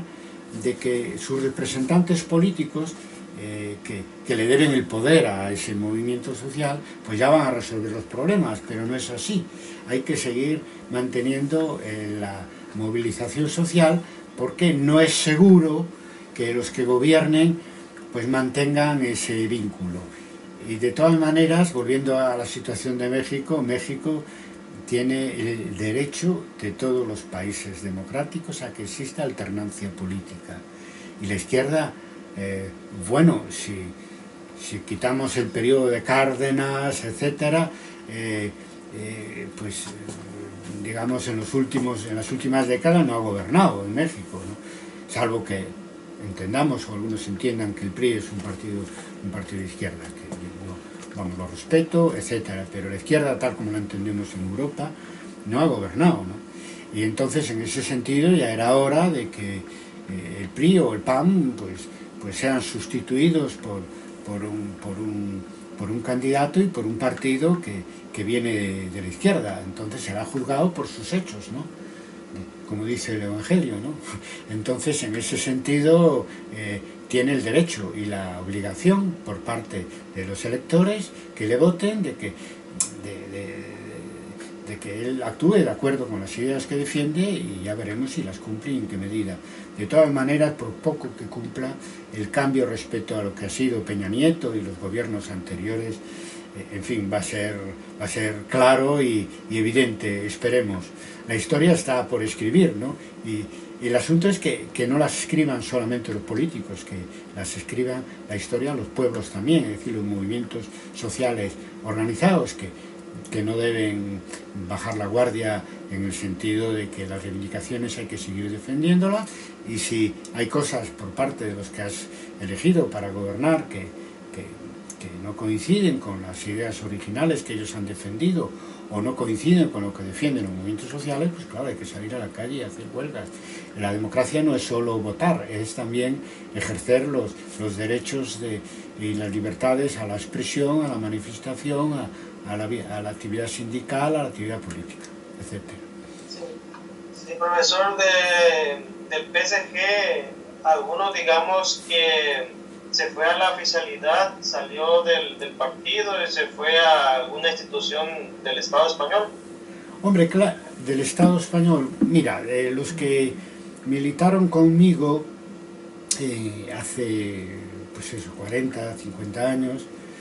pues claro, la mayoría ya por razones obvias,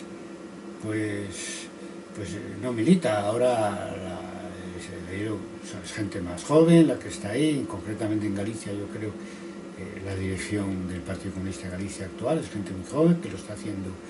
bien y también eh, desde el punto de vista de España. Mm, hubo un sector, mm, no tanto en Galicia, eh, no, no, fue tan, tan destacado el fenómeno, pero en España, que, se, pasó al Partido Socialista y ocupó cargos de, en los gobiernos de, de Felipe González, etc. ¿no? Entonces sí, con todo el derecho del mundo, ¿no? que una vez que después eh, de la transición el Partido Comunista, no solo aquí, sino en todo el mundo, los partidos comunistas, pues fueron retrocediendo eh, electoralmente, etcétera, y el Partido Socialista, concretamente en España, sustituyó en democracia al Partido Comunista, en la hegemonía, digamos, de, la izquierda, y entonces en ese sentido pues hay un sector que se pasó al Partido Socialista. La mayoría yo creo que dejamos la actividad política después de la transición, más o menos tarde. Porque ¿qué pasa? Que eh, para cada época eh, se necesita, digamos, gente eh, distinta, eh, gente distinta, es decir, de, distintas características. No es lo mismo pues, un dirigente político en la clandestinidad que un dirigente político en, democracia. Y, yo creo poder afirmar que la mayoría de los que estuvimos en la democracia, en, en, en, la lucha por la democracia al final del franquismo y la transición, simplemente acabamos dejando la actividad política y volviendo a nuestra actividad eh, profesional por una razón muy sencilla, porque en la clandestinidad eh, eh, no, no, no, no, entramos por, por razones de, de, hacer de, tipo de para hacer carrera política obviamente porque carrera política que podías hacer allí, ya me dirás, era la represión. En la medida que destacabas más, te iban a tratar peor si caías en la, en la comisaría. Y después, sin embargo, pues tanto de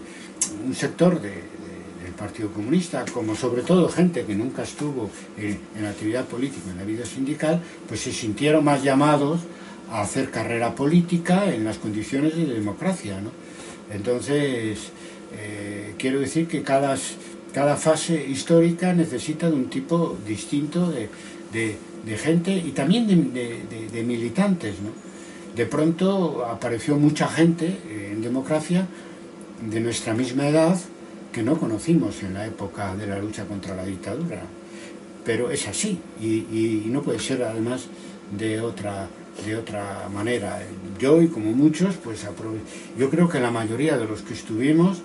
eh, pues, pues acabamos, volvimos porque a nuestra actividad profesional, porque date cuenta que en las condiciones de clandestinidad pues no había manera de desarrollar una vida profesional, incluso familiar. Yo me casé el día, el día antes de la manifestación por la amnistía, en el año 76, y no se me hubiera ocurrido hacerlo antes porque también veía el sufrimiento de compañeros eh, que tenían que pasar por cárceles y por todas esas vicisitudes, con con mujer, con hijos pequeños, etcétera, ni si me ocurría. Entonces ya eh,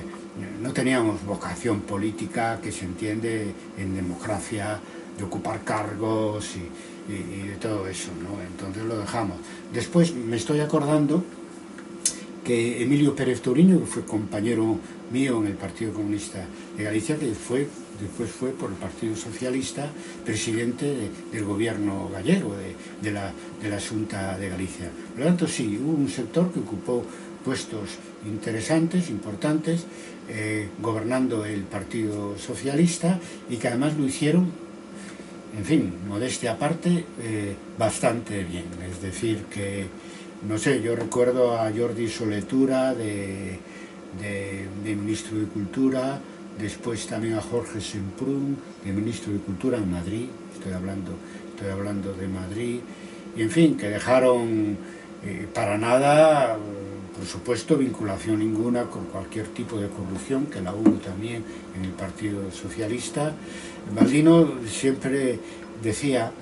que a los que, porque él siempre continuó el Partido Comunista hasta hoy en día, sigue siendo militante activo, yo he dejado la actividad política eh, hace más de 30 años, él sin embargo siguió activo, bueno ahora menos por la edad, pero vamos, por lo menos militante, como militante del Partido Comunista, y él me, siempre me, yo le oía decir que, que, a estos que se pasan al PSOE, que se cargos de tal, algo les queda. Incluso tú, hay quien estuvo, o quien presumió, aunque no lo conocimos, como Piqué, fue ministro del, de Aznar, eh, del Partido Popular, y lo decía y Piqué, eh, Galdino Varela, decía, no, algo le quedará, algo le quedará. Yo creo que, digamos, eh, sobre las motivaciones de los políticos, pues, pues ¿qué son? ¿Los valores, la ideología o, hacer carrera política o ganar dinero? ¿Entiendes? Son cosas muy distintas. Entonces, lo de la carrera política y, lo de ganar dinero, bien porque los sueldos son eh, extraordinarios, sobre todo en, México más que en España, de los, diputados, eh, pero entonces eso, comprendes, es lo que, lo que yo te decía, que es que se requiere gente de características muy distintas, pero los que fueron del Partido Comunista después se pasaron al PSOE y ocuparon puestos, bueno, no hay ningún caso que yo conozca que, cayeran en la, corrupción, o sea, que algo les quedó de lo que fue un tipo de militancia, la, que viene de, la lucha antifranquista, donde lo que contaba son los valores, la generosidad, la, ideología desinteresada, eh, etcétera, en la que nos encontrábamos muy a gusto. Yo ya cuando nos legalizaron y, y ya pues teníamos un, local y un despacho, etcétera, ya dije, bueno, esto, ya me sentí enormemente eh, incómodo porque decía, bueno, no digo que esto no, no haya que hacerlo, ¿no? Eh, porque era nuestro objetivo, ¿no? Que los partidos fueran legales, pero bueno, ya no me sentía, digamos, tan realizado y sobre todo porque había abandonado pues toda posibilidad de una vida, de una vida profesional para dedicarme a, a, la, lucha democrática y a la, y a la lucha social. No tanto, no, fue algo que, que fui decidiendo sobre la marcha y a lo que ayudó mucho la represión a la que estábamos sometidos. Bueno amigos, yo no sé, ya poco nos queda, ¿no? ¿Tienes alguna pregunta que más? Pues nada más si me puede comentar algo sobre la huelga general del 72 en vivo. Bueno, eh, fíjate, eh, en el partido sabes que eh, decíamos el partido refiriéndonos al Partido Comunista, pero no solo nosotros, otros que no eran, eh, llamaban el partido porque en la práctica era el único que había, que tenía una estructura, que llegaba a todos los lados, que estaba activo, que tenía órganos de expresión, etc. Pues teníamos una estrategia que era de huelga general obrera y de huelga nacional para pacíficamente eh, derrocar la dictadura y ocupar, eh, en fin, con movilizaciones en un momento de huelga general, pues los locales del, movimiento y crear un gobierno provisional, esa era la estrategia, derrocar la dictadura desde la calle ¿no? y desde los movimientos sociales. Entonces, el elemento fundamental de esa estrategia es una huelga general obrera, ¿no? porque los obreros eran, eh, junto con la universidad, pero claro, pero desde el punto de vista numérico eran muchos más. que Mira, estudiantes universitarios en el 68 en España había 150.000, 10 veces, 10 veces menos que hoy. Y la clase obrera, claro, era más, más numerosa y tenía una capacidad de presión que no tenía la universidad, una facultad, una universidad se cerraba y no pasaba nada. Pero claro, la paralización de la producción afectaba a la economía entera, entonces era realmente la clave para la la lucha contra la dictadura, la huelga general. Entonces cuando tuvimos ocasión en Vigo, eh, celebramos esa, eh, esa intentamos esa, huelga general, previamente fue en septiembre, en marzo, mm, una manifestación obrera en Ferrol fue masacrada por la, por la policía, murieron dos trabajadores, en Vigo hubo un movimiento de solidaridad y yo en ese momento había vuelto de París porque había estado en un congreso eh, del Partido Comunista de España donde me habían elegido para el Comité Central y, me habían ofrecido la posibilidad de ir a un país del este de Europa, etcétera, no sé, a un congreso, etcétera, y yo les dije a los dirigentes del PC que prefería volver a Vigo porque mm, tenía la, sensación de que eh, iban a suceder cosas, eh, cosas importantes, porque había, había sido ya la, movimiento solidario con los trabajadores de Ferrol por, por, el ametrallamiento de, la manifestación de los trabajadores de la construcción naval y yo en ese momento escribía, y bueno, les, ayudaba a, escribir el Vigo Obreiro, que era el órgano, el órgano, de las comisiones de obrera en Vigo, y había hecho un editorial diciendo ya esto, de que eh, hay que prepararse que vamos hacia una huelga general. Entonces, eh, cuando los, mm, los, trabajadores, nuestros camaradas de, la empresa Citroën de construcción de, vehículos de motor, que todavía existe hoy en día, pues eh, tenían un problema laboral y, pidieron irse conmigo en, el monte para, hicimos una, una reunión para, para ver qué hacer porque eh, había la intención por parte de nuestros militantes de Citroën de, ir a una, huelga con motivos laborales y, claro, eh, había, la situación era muy tensa eh, en Vigo y, en toda Galicia, por lo menos en los dos núcleos obreros, por todo lo que había pasado en Ferrol, la muerte de los compañeros allí, y allí dimos luz verde sabiendo de que bueno, después que pasó, fueron a la huelga, los despidieron, el resto de las empresas de Vigo se solidarizaron eh, con los trabajadores de Citroën, se inició una huelga general que inmediatamente, como solía pasar, pasamos del, eh, saltamos del, de, de las reivindicaciones laborales a las reivindicaciones solidarias, es decir, la readmisión de los despedidos. Y como la huelga y, las manifestaciones que se, se empezaron a hacer eran reprimidas, pues pasamos, eh, yo eso mm, me reunía con ellos, hacía una octavilla diariamente y, llevaba un diario, llevé un diario que todavía no he publicado, eh, tengo tanto trabajo estudiando otros, otros periodos históricos que todavía no he publicado mi diario durante la huelga del 72, donde pasamos de las reivindicaciones laborales y solidarias a las reivindicaciones políticas. Es decir, Vigo, para conseguir la readmisión de los trabajadores eh, y sus reivindicaciones laborales necesitaba libertades. Libertad de huelga, libertad de manifestación, libertad de reunión. Y entonces la huelga pasó de ser una huelga laboral a una huelga eh, política contra, contra la dictadura que duró dos semanas, eh, que se se gestionó pues, pues con unas estructuras que se crearon, algunas ya existían, como la coordinadora de comisiones obreras, pero otras que creamos sobre la marcha. Yo me reunía pues cada mañana con los dirigentes de las fábricas importantes, analizábamos la situación mm, eh, y ellos eh, antes o después tenían una reunión con los trabajadores de todas las fábricas existía lo que llamábamos la Asamblea Obrera de Vigo, una especie de soviet, ¿sabes? Obrero que, que, decidía cada día el camino a seguir, que tenía un sentido eh, práctico eh, de decir que se hacía de un día para otro y se organizaban los grupos para, para parar las fábricas, para parar el transporte público, se organizaban lo que llamábamos los comandos, es decir, grupos pequeños de manifestantes que cortaban el, el tráfico, etcétera, y bueno, se discutía la evolución diaria de la huelga. Eh, fue muy dura porque la patronal en ese momento se puso al servicio del franquismo, del gobernador civil franquista, o al revés, el gobernador civil franquista se puso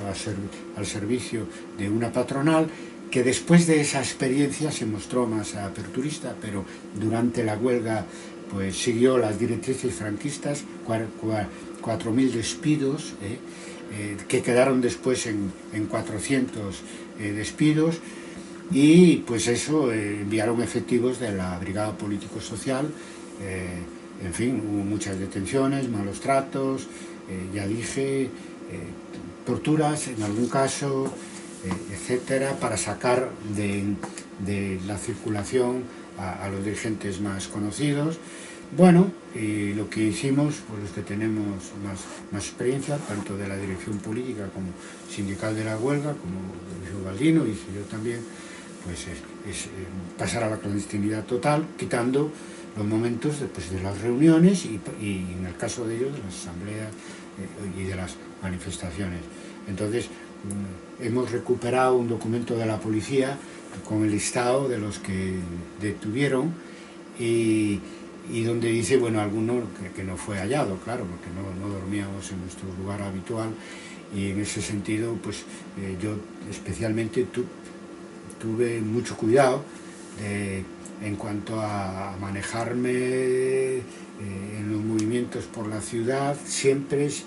pues por el, yendo por vías poco transitadas, no utilizar ni autobuses ni, ni, ni ningún vehículo, cambiar de sitio, del sitio en que dormía. Normalmente,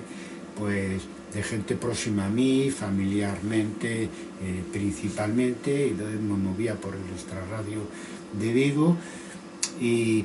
porque, claro, teníamos que preservar la dirección de, del, del, movimiento, que la Asamblea Obrera necesitaba y, y, de, dirigentes que, que, mantuvieran la, la, huelga y la orientación de la huelga y después eh, teníamos que hacer pues, los análisis políticos, redactar las octavillas y, y, moverse. También nos reuníamos de todas las noches el comité local del, del Partido Comunista con esa, con esa idea de, de, de tipo coordina, coordina, coordinadora. Entonces, en ese sentido, eh, logramos sostener durante dos semanas, que es mucho, eh, la huelga eh, con todo lo que caía de represión y, de todo tipo. Yo que sé, la Guardia Civil para que no mm, paralizáramos el transporte público, pues, y, y los autobuses, cosa que se consiguió en algún momento, pues, pues circulaban con Guardia Civil, y pues por la brigada político-social con gente que vino de fuera persiguiendo por las casas y por las calles a los, a los trabajadores muy duro, pero fue eh, en todo caso un éxito no, notable eh, mantener eh, durante dos semanas esa, esa, esa, huelga. Al final hubo un debate, ¿sabes? Hubo un debate eh, sobre volver al trabajo sí o no, sabiendo de que había despedido. Ya no eran los 4.000 iniciales, pero había pues un número todavía importante de, de, de despedidos en, en, las empresas. Y ahí se impuso, yo eso lo aprendí, teóricamente ya lo sabía, pero lo aprendí de Baldino, de los dirigentes obreros, de que las huelgas hay que, lo sabía teóricamente, en la práctica lo aprendí en la huelga de 72, de que las huelgas hay que saber terminarlas, y con, lloros y con discusiones muy tensas volvieron al trabajo dejando eh, compañeros fuera, ¿no?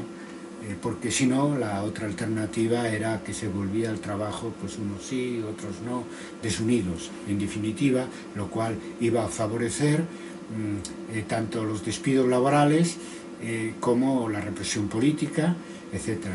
Después se fue consiguiendo algunas readmisiones y en el año 1977 pues, hubo una amnistía laboral. Aún así,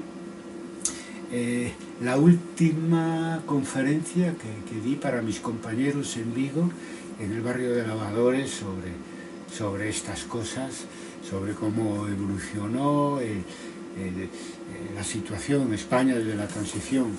hoy en día, hace dos años o así, en el barrio de Lavadores, en la asociación de, vecinos, Baldino aún todavía nos decía de que había que prestar más atención a, la gente que no se recuperó de los golpes represivos, sobre todo laborales, después de la huelga del, del, 72. Hay gente que la vida pues, le cambió mucho porque, eh, bueno, algunos no pues no se reisentaron laboralmente o no quisieron o no pudieron porque claro hasta cinco años después no fue la, la amnistía laboral, tuvieron que sobrevivir o emigrar al extranjero, eh, sobrevivir con muchos con problemas familiares, eh, muy duro. Y ahí es donde entramos en, eh, en otra, en el apartado del que no,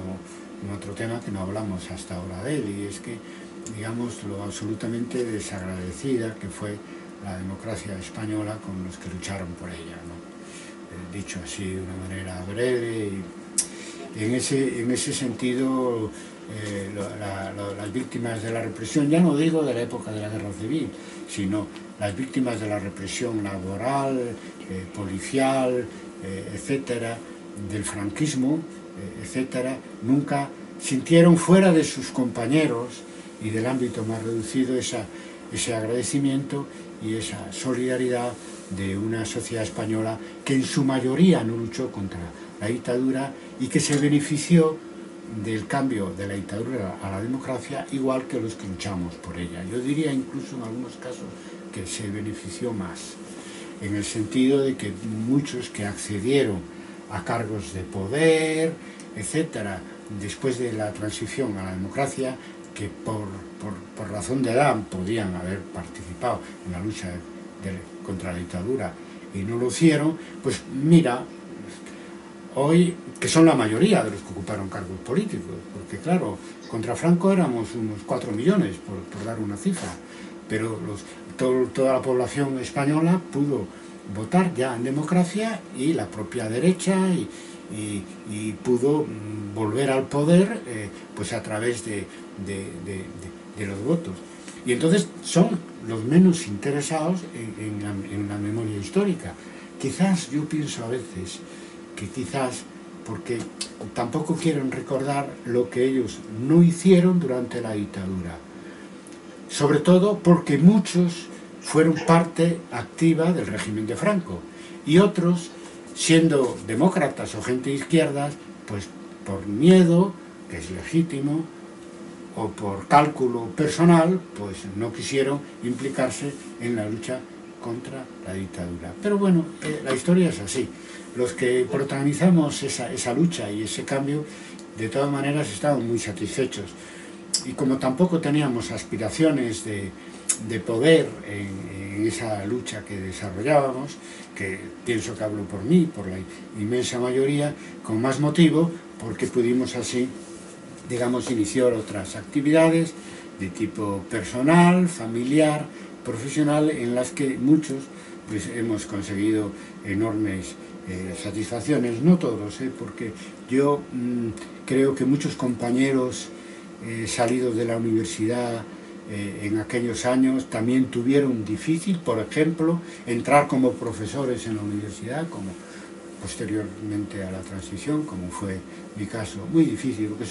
dedicamos unos años que, eh, de juventud a esa, a esa lucha y después de mayor reiniciar una vida profesional, etcétera, con más edad, no es tan fácil. Pero bueno, forma parte de esta ingratitud que, que no solo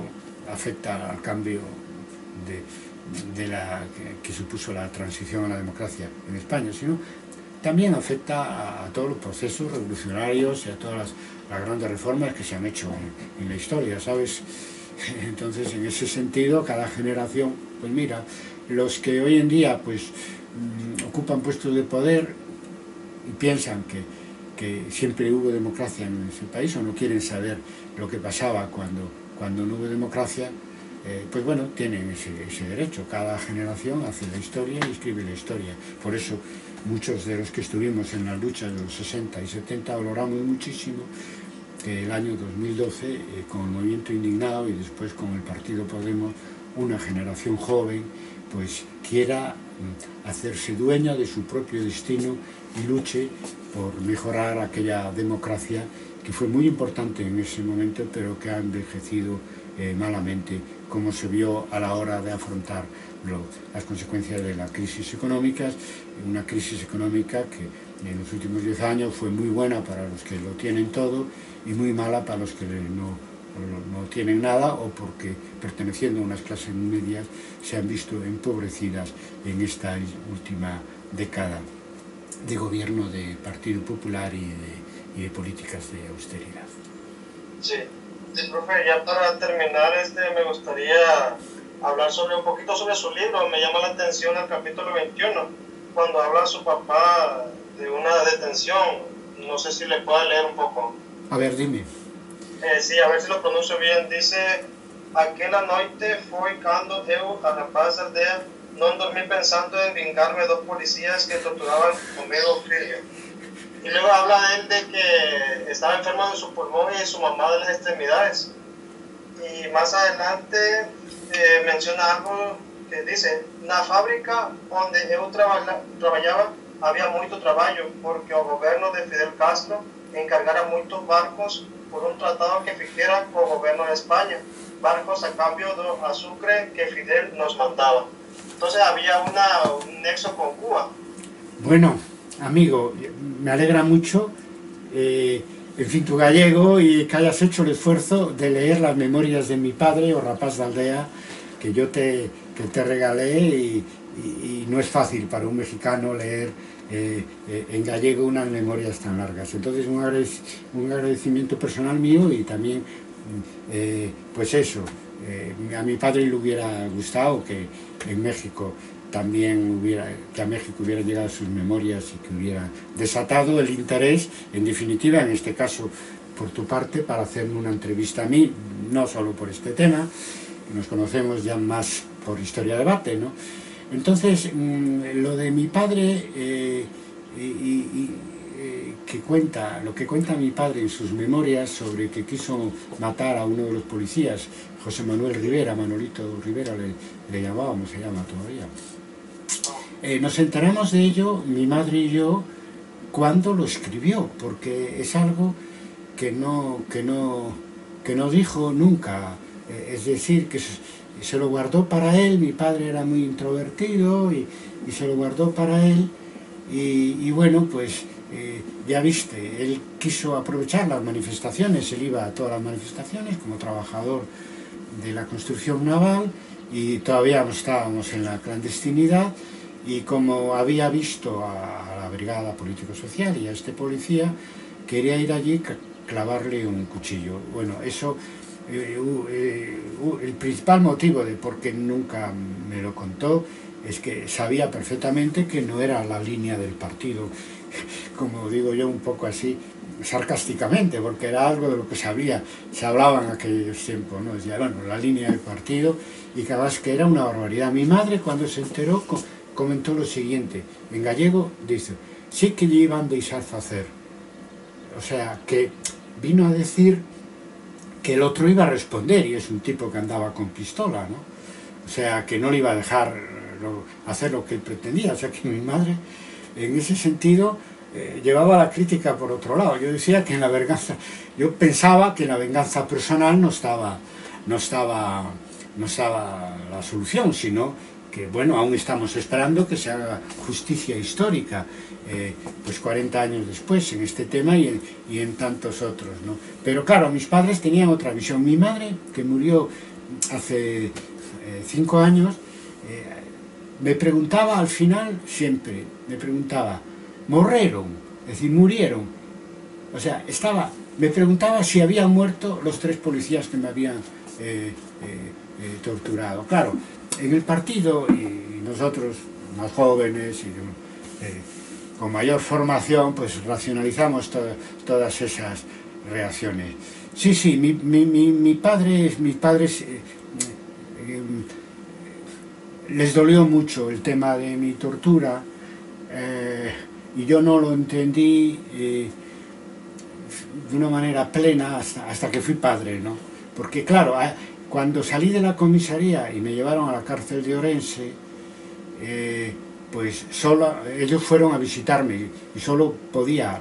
a recibir la visita de mis padres y también del abogado que, nos que, me defendía. Y entonces, claro, allí todavía tenía marcas yo de, del trato recibido y en fin, fue, fue bastante... Bueno, yo estaba, me sentía vencedor porque había conseguido negar todo lo que, lo que ellos eh, negarme a, que, a, firmar la declaración tal como ellos querían y además eh, lo, que,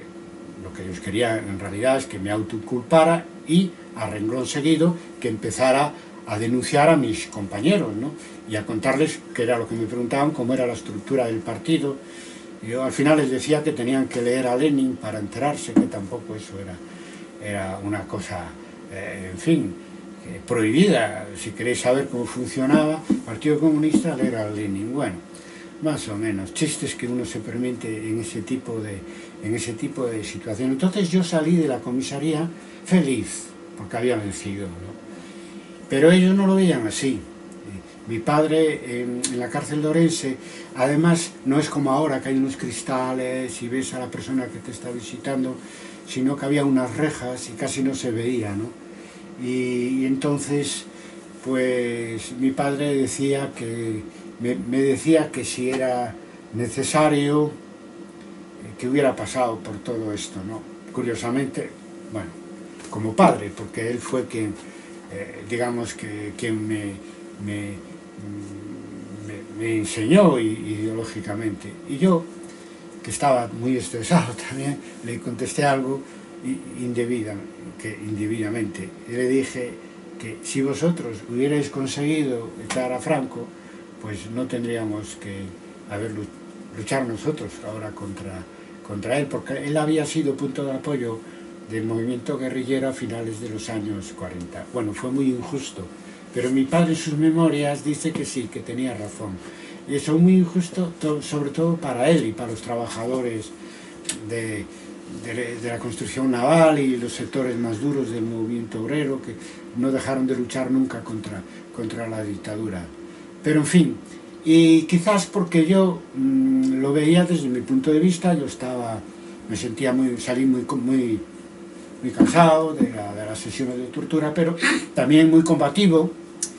y entonces me era difícil ponerme el punto de vista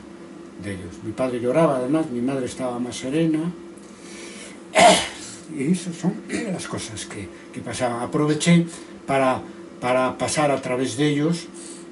eh, un relato de las torturas que después le sirvió al partido para una campaña eh, en toda España, incluso internacional, sobre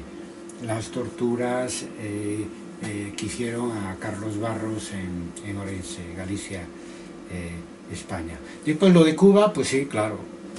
pues no sabes hasta qué punto, es decir, que mi padre, todavía tenemos algún, algún recuerdo que, que le dejaron los cubanos que venían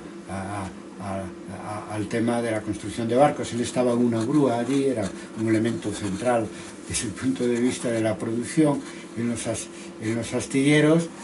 y, claro, había una relación entre los cubanos que venían para, para, para, el tema de, del barco, que los barcos estaban construyendo en Vigo y los propios trabajadores que eran de, de su propia ideología y, además pues eh, tenían mucho orgullo estar haciendo barcos para, para Cuba. Y dices, el vínculo con Cuba, es que el vínculo con Cuba no se perdió, vosotros lo conocéis, conocéis su importancia eh, en América Latina, pero para mi generación también eh, lo fue, sobre todo en España, así como Vietnam, pues lo, lo fue para, para, para, todo el mundo, ¿no? en Europa, en América, yo que sé, en Japón, en todos los sitios, para hablo de la generación del 68, Cuba siempre tuvo una especial relación con la izquierda española y con España en su conjunto. Eh, eh, si, si, si, se hacían barcos en España es porque curiosamente el franquismo logró tener con el régimen cubano pues una relación pues bueno de intercambio económico, etcétera. El propio Fraga, que, que bueno, eh, su familia estuvo migrada en Cuba, etcétera, tuvo una relación con Cuba y especialmente con Fidel Castro, a pesar de su enorme conservadurismo político. Por lo tanto, eso de que Cuba la llevamos en el corazón, pues sobre todo para la izquierda, pero eh, eh, es una verdad hasta ahora, hasta hoy, hoy acabo de, nosotros acabamos de estar, yo he estado, como sabes, en el Instituto Mora, en Ciudad de México, en noviembre, para una, dando una conferencia sobre el aniversario de la Revolución Rusa, y pues aprovechamos y estuvimos una semana en Cuba y di una conferencia sobre, sobre la situación de la historia hoy en la Universidad eh, de La Habana. Entonces hacía 20 años que, que, no visitaba Cuba y para mí fue, fue triste, no, no, no desde el punto de vista historiográfico, porque hay mucha, mucho dinamismo en la historiografía cubana y Historia de Debate, como sabes, siempre ha tenido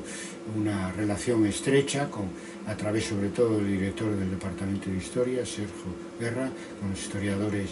eh, cubanos, sino porque, porque hemos llegado a un momento ahora, en noviembre, a Cuba, en que, pues bueno, estaba reciente el triunfo de Trump, como dicen allí, decimos Trump en España, en Estados Unidos, y se había cortado la posibilidad que, de, de, una apertura del mercado y de las relaciones entre Cuba y Estados Unidos, donde depositaba muchas esperanzas para, de apertura económica para la mejora de la situación económica de, Cuba y eso eh, Trump lo, lo, frustró, algo que a propio Obama pues, y a la dirección de, del Estado cubano le costó muchos años eh, negociar. Entonces fue un cerrojazo muy fuerte y todo el mundo, no solo nuestros colegas, sino también en la calle, pues sentí, sí, estaba muy sentida con ese golpe, claro, comentando de que eh, muchos productos que necesitaban los tienen que traer, vete a saber de qué lugar del mundo, y sin embargo, pues a unos, a, unos kilómetros lo, lo, tienen todo en Estados Unidos, por lo tanto, esa, esa conexión, ese intercambio económico se frustró y con lo cual eh, Cuba pues sigue viviendo ese calvario de, del, mm, desde, que, que, que están viviendo desde la caída de, de, del muro de Berlín, perdieron la ayuda de la Unión Soviética, después tuvieron la ayuda de, de la Venezuela de, de, Hugo Chávez, pero eso también con la crisis en Venezuela se perdió y están viviendo una situación tremenda desde el punto de vista social, mmm, de falta de perspectiva, sobre todo para la juventud, etcétera, una situación que no se merece el, el pueblo cubano porque es que eh, ellos han tenido la, la osadía de, de, de, rebelarse contra los Estados Unidos, eh, que son sus, sus vecinos y, y, y, llevan, pues eso, 70, 70 casi 80 años eh, eh, pagándolo sin, sin, culpa. Entonces, si aquí ya termina nuestra eh, sí, sí. entrevista. Muchas gracias, doctor. Muchas gracias. Y iba a decir viva Cuba, libre, y seguimos en contacto, Catarino, pues a través de la red y, y, y Historia de Debate como, como estos últimos años. Sí, muchas gracias, muchas gracias. Gracias a ti.